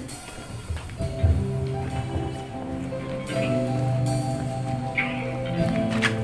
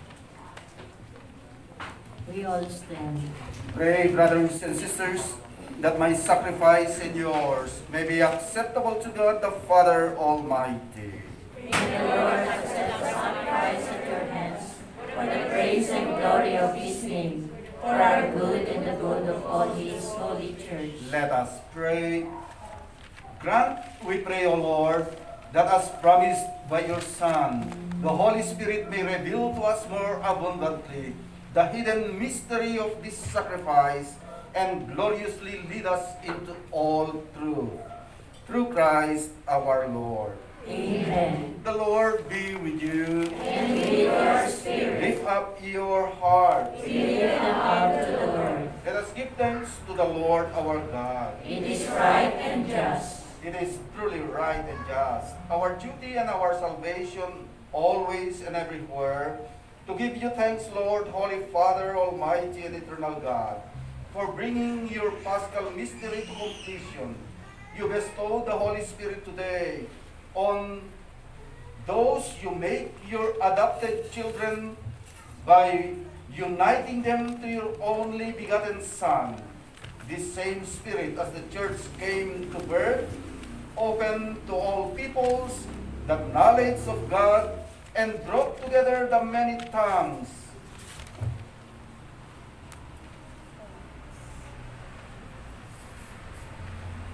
On the earth in profession of one faith. Therefore, overcome with paschal joy, every people exalts in your praise, and even the heavenly powers with the angelic host sing together the unending hymn of your glory as they acclaim.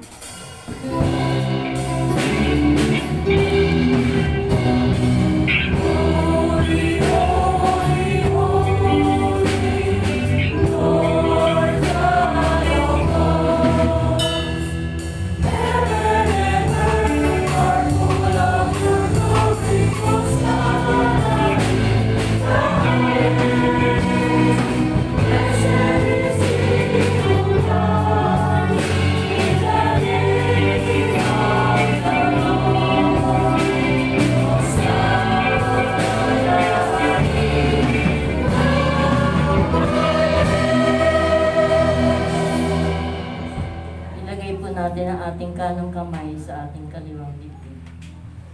You are indeed holy, O Lord, the fount of all holiness. Make holy, therefore, these gifts, we pray, by sending down your Spirit upon them like the dewfall, so that they may become for us the body and blood of our Lord Jesus Christ. At the time he was betrayed and entered willingly into his passion, he took bread, giving thanks, broke it, and gave it to his disciples, saying, Take this, all of you, and eat of it. For this is my body, which will be given up for you.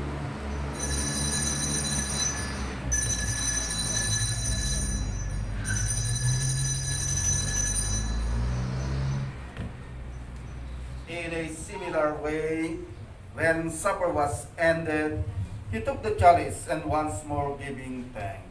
He gave it to his disciples, saying, Take this, all of you, and drink from it.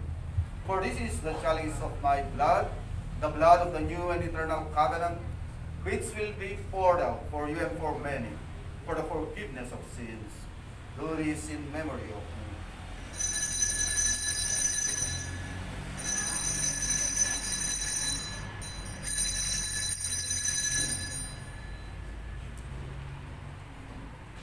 The mystery of faith.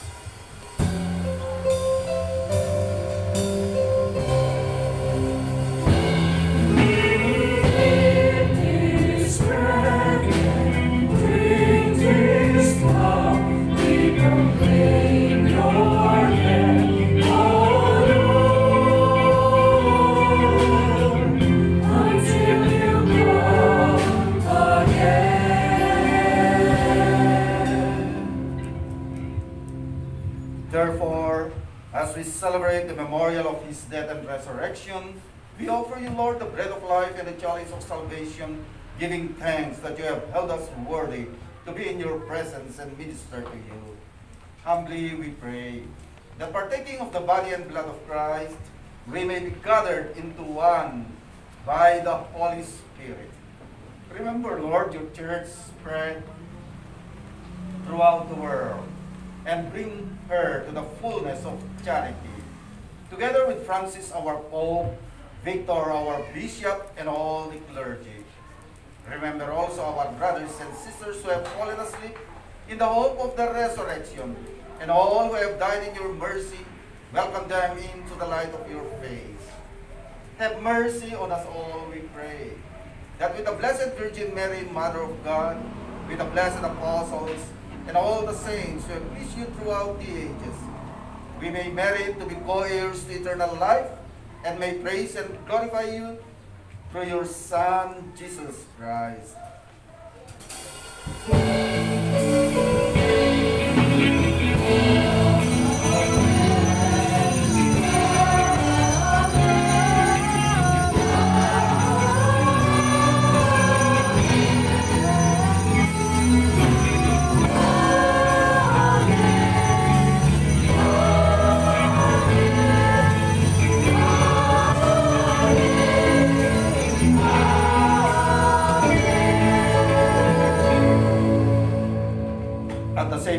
Command and formed by divine teaching, we dare to say,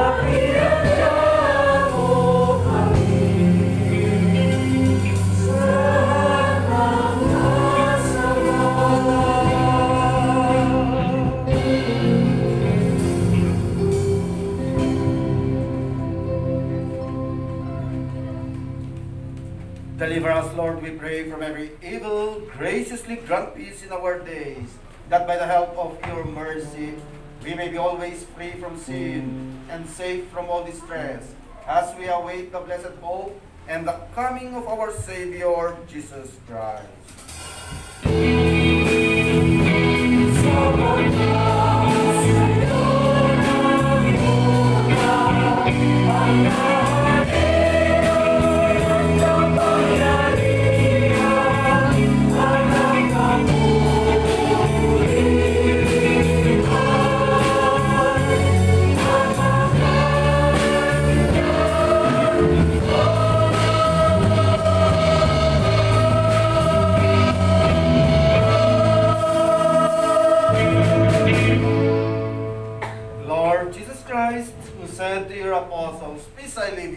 My peace I give you.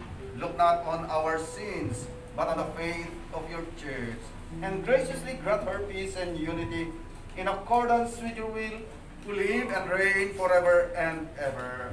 Amen. The peace of the Lord be always with you. And with your spirit. Let us offer each other the peace of Christ.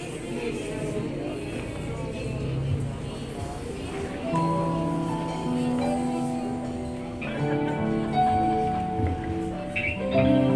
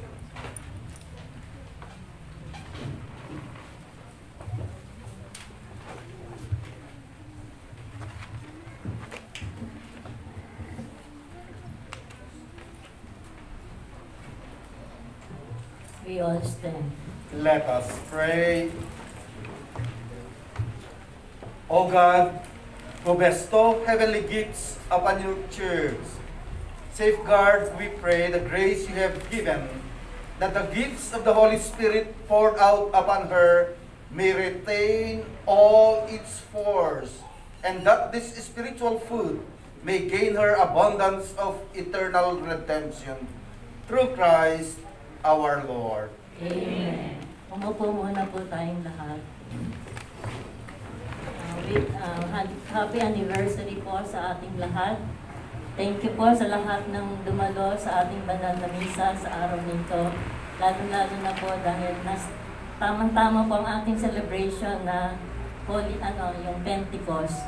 Na, na talagang tinalaga ni Lord na maging ang ating anniversary ay matapat sa Pentecost Sunday. Sa lahat po, maraming maraming salamat sa ating choir, sa ating instrumentalist, sa lahat ng dumalo, sa lahat ng kaloob ng kanilang biyaya at pagpapala.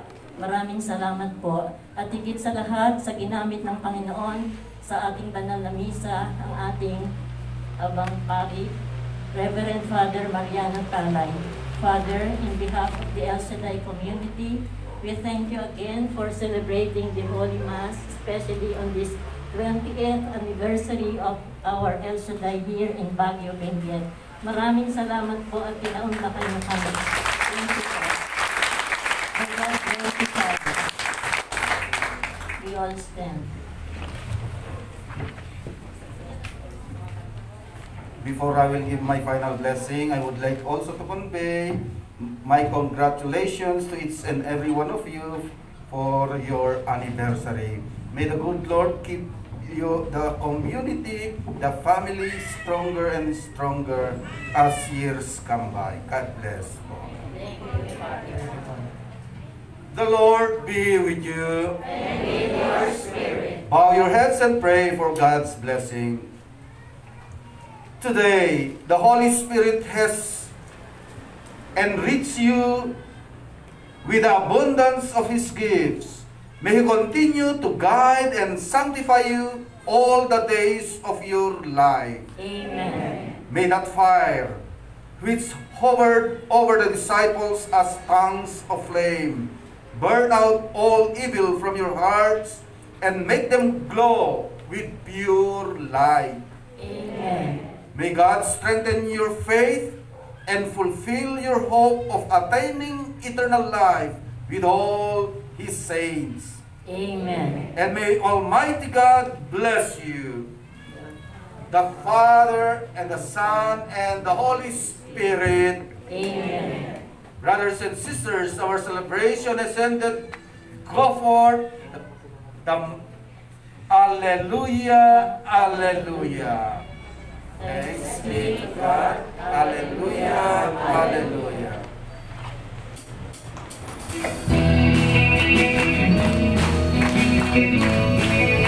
Alleluia.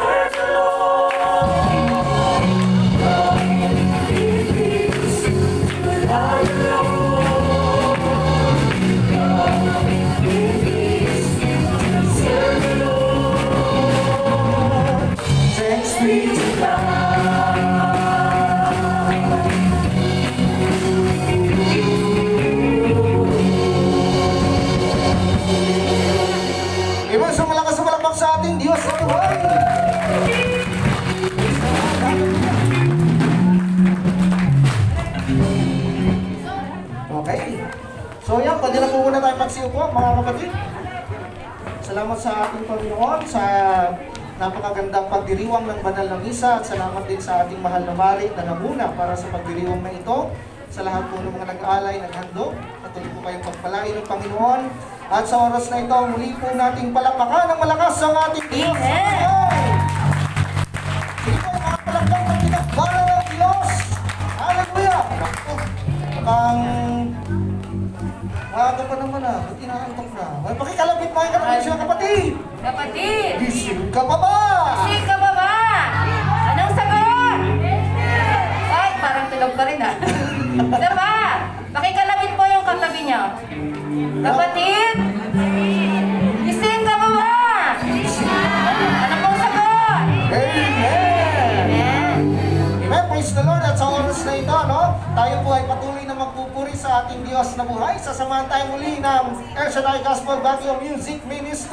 At tayo po sasama natin kapatid Brother Charles Tabas. Yan, palakpakan po natin ang ating Diyos. Hallelujah! Yan, at, Palakpak sa ating Diyos na buhay! Amen. At paalala po, maya-maya, no? Maya-maya ay magkakaroon po tayo ng counting break para doon sa ano to, sa ating pong lunch. Pero ay, ah, paalala po, huwag pong aalis sa upuan. Amen. Bakit? Kasi tuloy-tuloy po yung ating program. No? Ibig sabihin ay kakain po tayo saglit, eh ano, ah, tigil muna at gulong-gulong muna. Di po, tuloy-tuloy ang ating program upang sa gayon ay matapos po natin sa tamang oras. Amen? Amen. Ayan. Sige, sa oras na ito, tawagin muna natin Sister Myra para mag-share sa atin ng kanyang buhay na patotoo sa ating Diyos sa buhay.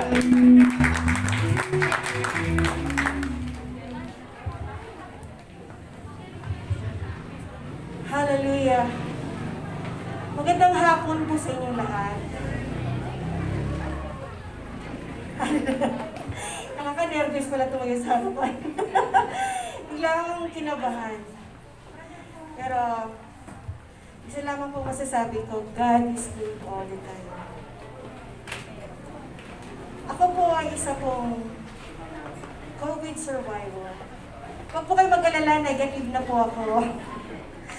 Dahil po bago po ako pumunta po sa gawain, ay sinigurado naman po namin muna na na pumunta muna sa doktor, humingi, nagpa-swab po ulit kami. And praise the Lord po, negative po ang result ng aking um, swab test. Isa nga pong malakas na palagpas sa Diyos.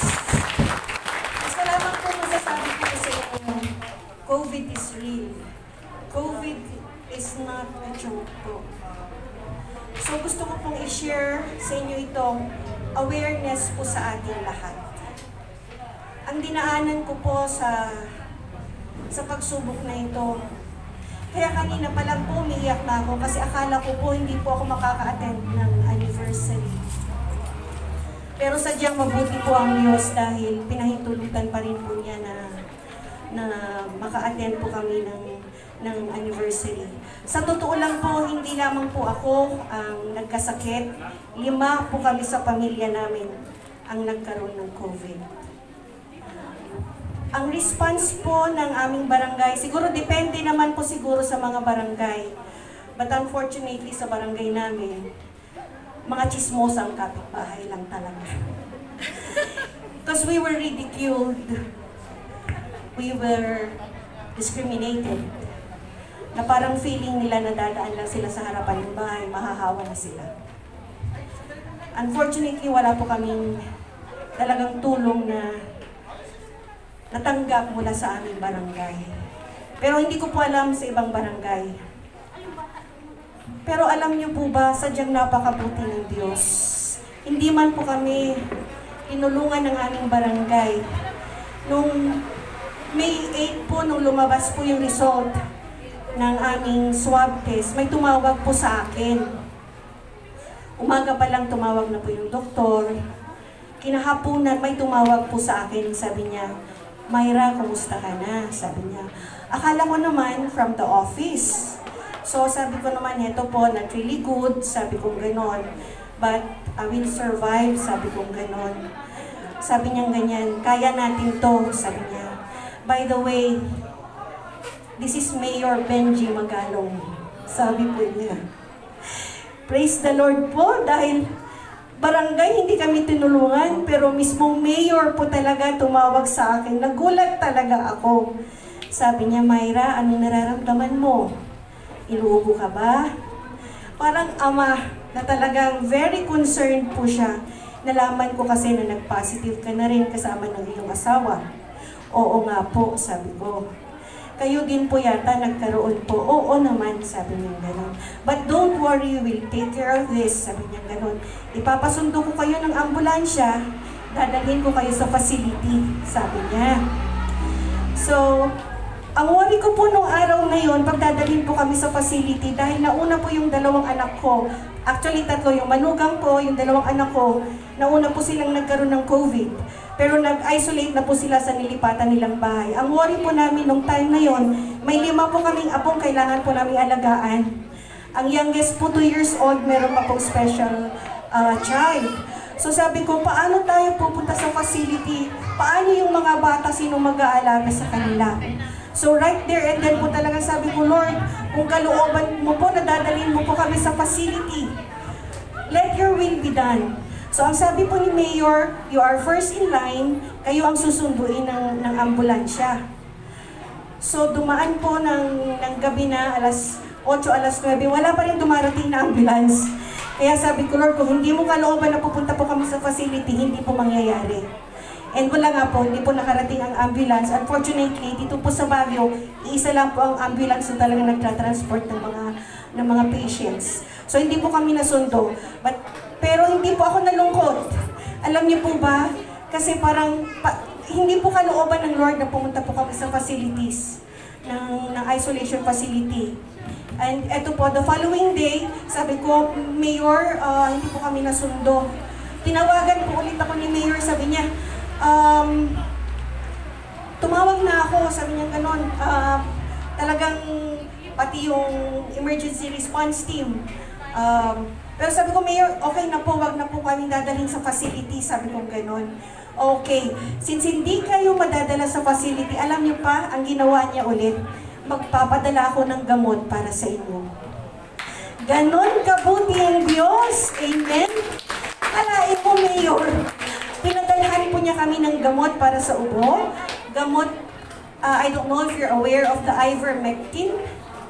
Hindi po kasi nabibili yun over the counter.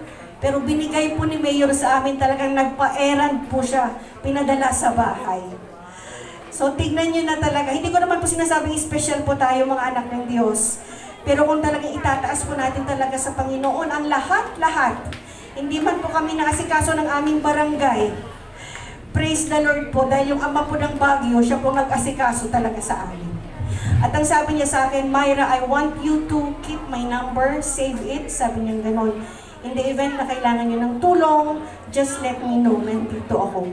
True enough po, isang text ko, mamaya nandyan na po ang text ng mayor. Talagang sinasabi niya, oh, nandyan na ba yung gamot? Kumusta kayo? Alam niyo, sabi ko, sadyang napakabuti ng Diyos. Pero sabi ko nga po, mag-ingat po tayo lahat. Let us just follow the health protocols. Dahil ako po, naranasan lahat ng symptoms po nasa akin na. Nawala ng panlasa, nawala ng pang-amoy, ubo, lagnat. Dumating na po ako sa, sa point na nakikipag-bargain na po ako ay Lord. Sabi ko, Lord, wag, alam ko naman na kukunin mo kami, pero wag naman po sa panahon ngayon. Gusto ko naman po kahit paano lamayan ako ng mga ma- mahal ko sa buhay. Huwag naman po sa ganitong paraan. At isang bagay po ang iniiyak ko, sabi ko, Lord, di ba tap- hindi pa tapos yung mission natin eh. May gagawin pa tayo, Lord eh. May gagawin ka pa sa choir, may gagawin ka pa po sa gawain. Tuwing nagpre-pray po kami talaga, ngayon po talaga, Lord, hindi pa tapos yung mission ko, sabi ko. Alam niyo po, dumating po ako sa punto na, ganun po pala ang COVID, na pag mahina ang utak mo, mahina ang puso mo, bibigay ka na lang. Ang hirap po kasi hindi ka makahinga, nilalagnat ka, wala kang ganang kumain. Andun lahat na dadayain ka ta ng kala, kalaban na bumigay ka na lang. Hanggang dyan ka na lang. Pero sabi ko, Lord, hindi eh. May gagawin pa tayong dalawa. Kaya praise the Lord po talaga. Dahil sa panalangin po ninyo, doon ko po naramdaman ang pagmamahal po ng pamilya, pagmamahal po ng mga kaibigan. Dahil pati po yung mga kaibigan ko po na hindi ko po nakita ng 10 years, nagpadala po sila ng bulaklak. Hindi, hindi po corona. bouquet, bouquet po. ah, pagkain, fruits. So, thank you Lord talaga. So, ito po ang sasabihin ko sa inyo. Ang COVID po, parang pagsubok lang yan. Pahintulutan ng Diyos. Dahil titingnan niya kung paano ka po magre-react at magre-respond. Sa mga pagkakataon po yun, doon po natin talagang mararanasan ang kamay ng Diyos kung paano niya iaabot ang bawat isa sa atin. At ito pa po ang pinakalaking, pinakamalaking biyaya po. Yung COVID po, wala yan eh. Sabi ko nga last year, Lord, cancer. Na-diagnose ako ng cancer, ngayon COVID. Lord, tama naman na, wala nang susunod. Amen. Wala naman nang susunod. O, okay na ako, kota na ako, Lord, wag, na. Sabi ko ganun. Ito po ang pinakamalaking biyaya. Naniniwala po ba kayo na walang imposible sa Diyos? Naniniwala po ba kayo na kung meron po kayong mahal sa buhay, na inilalapit nyo sa Panginoon, in due time, si Lord ang gagalaw at siya ang tatawag sa Kanya. Yung COVID po, wala na yan. Pero ito po pinakamalaking biyaya ng Diyos. Para po sa akin. Yung anak ko po, sasabihin ko na pong alibughang anak. Dahil yung meron po akong anak, nasabihin na natin po naligaw ng, linda, ng landas. Nag-drugs po siya. Sa 17 po na apo ko, walo po sa kanya. Karamihan panganay. Talaga po napakahirap. Every time po na magpre-pray pa ko namin ng aking brother husband, sabi ko, Lord, we are not losing hope on our son. Ikaw ang hihipo sa kanya, ikaw ang tatawag sa kanya. Sa totoo lang po, sila po yung mga unang flag bearers po dito sa gawain. Sila po yung unang mga sumayaw po sa gawain ng Diyos. Pero for some reason, naligaw ng landas. Pero alam niyo po ba, kasama ko po ngayon. Ah, Thank Kasi, ang tagal po namin pinanalangin sa Diyos. Kasi dumating na po sa punto na talagang nakuhuli ko na po siya, nakikita ko na po yung mga ginagamit niya, na para pernalyan niya po. Dinidinay po niya. Para po sa isang magulang, ang sakit, ang bigat po. Pero isinuko ko lahat kay Lord. At ngayon po kasama po muli natin siya. At ang sabi po niya, maglilingkod po muli siya sa Diyos. Kaya sabi ko, Lord, yung COVID, biyaya yun, oo. Pero ito po yung mas malaking biyaya. Ang makasama po muli namin ng aming anak na matagal po namin ipanalangin. Lord, thank you talaga. Kaya kanina abot-abot po nagpe-praise and worship pa lang umiiyak na po ako. Kaya mga kapatid, wala pong imposible sa Diyos. Maniwala lamang po tayo in due time. God will answer your prayers. Kung meron kayong mahal sa buhay na gusto niyo ilapit sa Diyos, ilapit niyo po. Hindi po natutulog ang Panginoon, hindi po siya nagpapabaya. Amen. Kaya muli po natin palakpakan ng Diyos na buhay. Hallelujah. Kaya Lord, thank you po. Thank you po. Ah, walang sisidla ng kaligayahan ang aking nasa, ang nasa puso ko po ngayon dahil sino ba kami para pagpalain ng Diyos? Pero sadyang napakabuti po niya. So mag-ingat po tayo lahat, stay safe po tayo. Hindi ko po hindi ko po gugustuhin na meron pong mara- kahit sa inyo na makaranas po ng COVID. Let, let us just follow the health protocols and we will be okay. Ah, mahirap po talaga, COVID is real. Ah, akala ko po hindi na ako makaka-attend ng anniversary. Akala ko po mamamatay na talaga ako. Pero sadyang napakabuti ng Panginoon. Dahil lima po kami na nagka-COVID, pero lahat kami niligtas niya. Isang buhay pa lang na iligtas ng Diyos. Sobra-sobra na, lima po kami. Kay Lord, salamat po talaga. Thanksgiving talaga. Thanksgiving. Palakpakan po natin ang ating Diyos. Tunay nga pong napakabuti ng ating Diyos. Amen. Dahil po sa kabila ng pandemic na ito, lagi po tayong nagiging safe dahil ang Panginoon po ang ating inuuna. Amen. Wala pong lingkod ang Diyos na pinabayaan. Amen. Amen. Amen. Sino pa pong mga nais mag-share? Pwede pa po.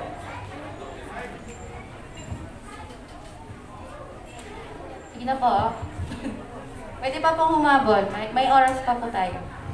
Alam ko po, pinagpala tayong lahat. Amen! Itaas nga po ang ng mga pinagpala! Amen. Pwede na pong pumunta sa harap ang gusto mag-share. Yan, si Nanay. Hallelujah, mapagpalang araw po sa ating lahat. Ayan, happy eating po. Ayan, gusto ko na po magpasalamat sa Diyos dahil napakabuti ng Diyos sa atin, amen. Maging po ako, dumanas rin po kami ng matinding pagsubok. Ayan, sa buong pandemic na ito, marami pong pamilya ko namatay. Isa na po doon ang nanay ko, ang tito ko, ang lola ko, sa isang taon lang po. And Lord, salamat din Panginoon kasi napaka pinatatag mo ako kahit na mag-isa ako humarap. Nung namatay po yung nanay ko sa Pampanga na ako lang ang kasama niya. Salamat sa Diyos dahil meron ng virtual, virtual lamay. Nakasama ko mga ka- kasama ko sa pamilya na nakiramay sa akin, nakasama ako. And salamat sa Panginoon dahil lahat ng gastos sinagot niya. Amen. And nagpapasalamat din po ako sa Panginoon dahil last February 8 po, na hospital po itong anak ko. Isang matinding ubo. So sabi ko, Lord, nawawag naman COVID. Two times po siyang nagpa-swab test. Negative naman po. Pinunta ko po siya sa BGH for 4 days po kami nando doon. Wala po silang ginagawa sa anak ko. Hindi po nila siya ma-assess. So sabi ko, Lord, anong gagawin ko? Kawawa na po yung anak ko. Hindi ko po siya mabantayan sa hospital. Mag-isa lang po siya doon. Sabi kong ganon. At hirap na hirap na po siya sa ubong, ubong ito. Ngayon po, nilipat ko po siya sa, nilipat ko po siya sa Notre Dame. And praise the Lord, unang araw pa lang, na x-ray na siya. Puno po ng tubig ang kanyang lungs. At konting-konti na lang po, lunod na lunod na po yung puso niya. Pero salamat sa Diyos kasi pinatatag niya yung anak ko. Kahit nahirap na hirap na po siya, kumapit siya. Sabi niya, ma, hindi ko na kaya. Pero sabi ko, kaya ni Lord. Sabi ko ganon, kumapit ka kay Lord. Kaya nananalangin kami. Every time po na nagbi-video call kami ng anak ko kasi hindi ko po siya mabantayan dahil kailangan po nakapagpa-swab test ka. So, nung nakapag-swab test na po ako, nasamahan ko po siya sa hospital. Sabi po ng doktor, hindi lang po tubig ang laman ng lungs niya. Meron pa pong tatlong matitinding bakterya na kumapit sa lungs niya. At nagkaroon na po ng nana. So ngayon po, dinudurog na po niya yung spinal cord ng anak ko. At sabi ng doktor, pwedeng maging way yun para maparalyze siya. Pero hindi po pinahintulutan ng Diyos yun. So ngayon sabi magka-undergone siya sa operation. So ngayon po tinanggal po yung tinanggal po lahat ng tubig, ng nana. So nag-antibiotic po siya. Sabi ng doktor magkakaroon ng lamat. Pero hindi ko inangkin yun kasi sabi ko, Lord, kakailanganin ng anak ko yun na malapat clear yung lungs niya kapag nagkatrabaho siya. So, nag-exercise po siya, yung exercise sa breathing po, sige po, ginawa po namin lahat yan. And praise the Lord, nagulat po yung doctor kasi sabi niya, bakit parang walang nangyari? Kaya sabi ko, Lord, salamat sa Panginoon. Kaya po, um, ang ano ko lang po, suggestion ko lang po as a mother, kasi yun po yung pansin ko, bumabagsak po ang immune system ng ating mga anak sa kapupuyat, sa kalalaro ng ML, lalo na ngayon na pandemic, lalo na ngayon na nasa bahay lang sila. Kaya bigyan po natin ng oras ang ating mga anak. Sabihin po natin sa kanila na hanggang ganitong oras ka lang. Kasi po, kahit po nasa loob tayo ng bahay, hindi pa rin po safe. Kasi bumabagsak po ang immune system at yan po ang sinabi ng doktor. Wala po siyang cancer, wala po siyang tuberculosis, pero infection po. At nakukuha po natin ang infection na yan kapag bumabagsak daw po ang ating immune system. Kaya po, in, in, um, as a mother, din po, pagsabihan niyo po yung mga anak ninyo na huwag pong magpuyat kasi matindi po talagang kalaban ang infection. Hindi po natin dapat iwa, iwalang bahala iyan. Ayan, and Lord, salamat kasi sa bill namin, Lord, na 397,000 at minus 12,500 from PhilHealth. Lord, salamat kasi nabayaran na lahat yon. Hallelujah. Kaya Lord, maraming maraming salamat po at ibinabalik ko sa iyo lahat ng papuri at kaya Panginoon, salamat kasi kasama ko ang anak ko, mga anak ko naglilingkod sa iyo. Kaya ibinabalik ko sa iyo lahat ng papuri at pasalamat sa iyong dakilang pangalan. Napakabuti po ng ating Panginoon dahil patuloy po tayong pinagpapala. Amen? Kahit gaano man karami ang bill natin sa ospital, sasagutin ng Panginoon yan. Amen? Sino pa pang mga nais mag-share? Pwede pa po.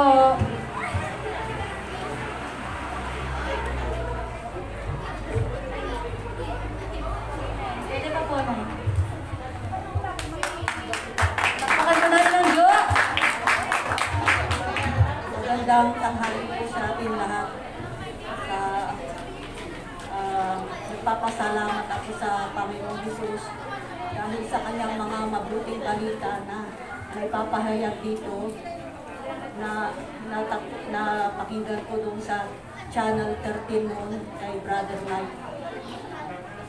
At ah, na ano na hikayat ako na mag-attend dito sa Baguio, hinanap ko ang gawain dito. Tapos, uh, na, na, kasi noon, uh, kwan, hindi ko alam ang, ang papaano ang buhay ko. Uh, kung ano-ano na lang ang pinapaniwalaan ko. Yung mga pungsoy, ganun. Yung mga, kung ano-ano yung mga, uh, mga, anong tawag dito, spiritual na ano, yung mga anting-anting, ganun. Yung mga nag-spirit of the glass kami noon, nung mga bata pa kami, naglalaro kami ng ganun. Lumalakad yung mga ano, nung uh, lima kami noon yata, naglalaro ng ganun. Talagang may espiritu pala na lumalakad yung baso. Nagsitakbuhan kami lahat sa ginagawa namin na ganun wala naman gumagalaw sa ng baso. Nandoon, gumagalaw. Tapos, nung kwan na, nung, ala, nung patuloy akong nakikinig ng mabuting balita, uh, nalaman ko na kwan, uh, masamang ng mga masasama na ginagawa ko sa aking buhay, yung hindi nagsasama ng hindi kasal, tapos yung nagchichismis, at kwan, napipigilan ko ang mga yun. Saka uh, napag-aaway ko yung mga uh, mga mga kaibigan ko dahil sa chismis. Ngayon, uh, habang nakikinig ako ng mabuting balita, unti-unting naaalis na yung mga yun. Nagiging mabuti na ako sa mga kaibigan ko hindi ko na sila chinichismis. Uh, sila na lang, siguro sila na lang nagchichismis sa akin pero hindi ako, hindi ko na pinapansin yun. Salamat sa Diyos sa mabuting balita niya. Thank you Lord, thank you Jesus. Amen. Palakpakan din natin si Yahweh today.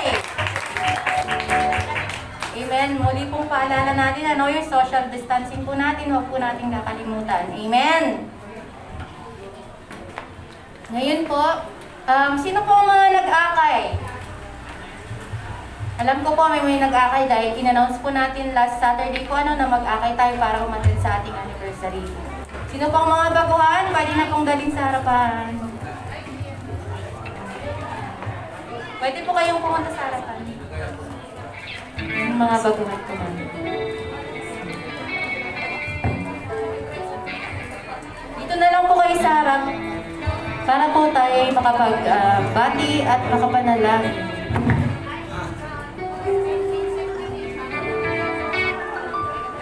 dito sa harap. Na safe po. Mga asherates po natin, patulong po sa mga baguhan. Maraming salamat po.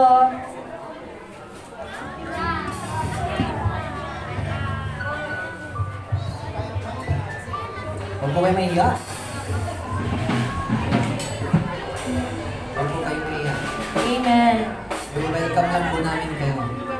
Wala pong gagawin tayo. Hindi pa sasayo. Hindi po kayo sasayaw o anything. Pag-pray din po namin kayo.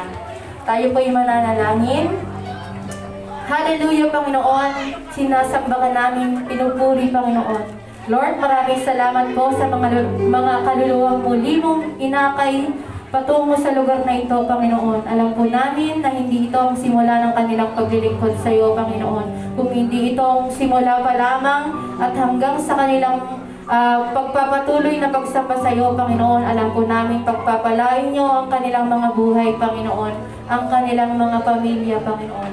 Maraming maraming salamat dahil ginawa mo silang ligtas mula sa kanilang tahanan patungo sa mga sa lugar na ito, Panginoon.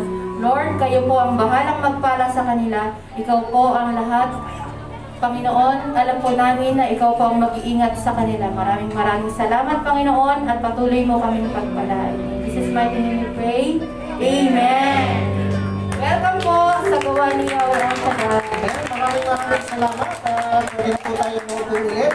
Ah, tuloy lang ng kain. Yan. Yan, kain na ng kain. Medyo na-score mo lang konti, pero sige, tuloy po tayo mga kaibigan at, at mga kapatid at syempre mga ka-prayer partners at sa oras na ito, diretso na tayo sa youth present tayo. Amen. Ayan, so Handa na ba ang ating mga youth? Sige, dapat handa na yan. Sarap Handa, handa na. Para pagbukas, may magic. Yan, okay. Tuloy lang po lang kain. Manonood tayo ng pelikula. Kasama sila.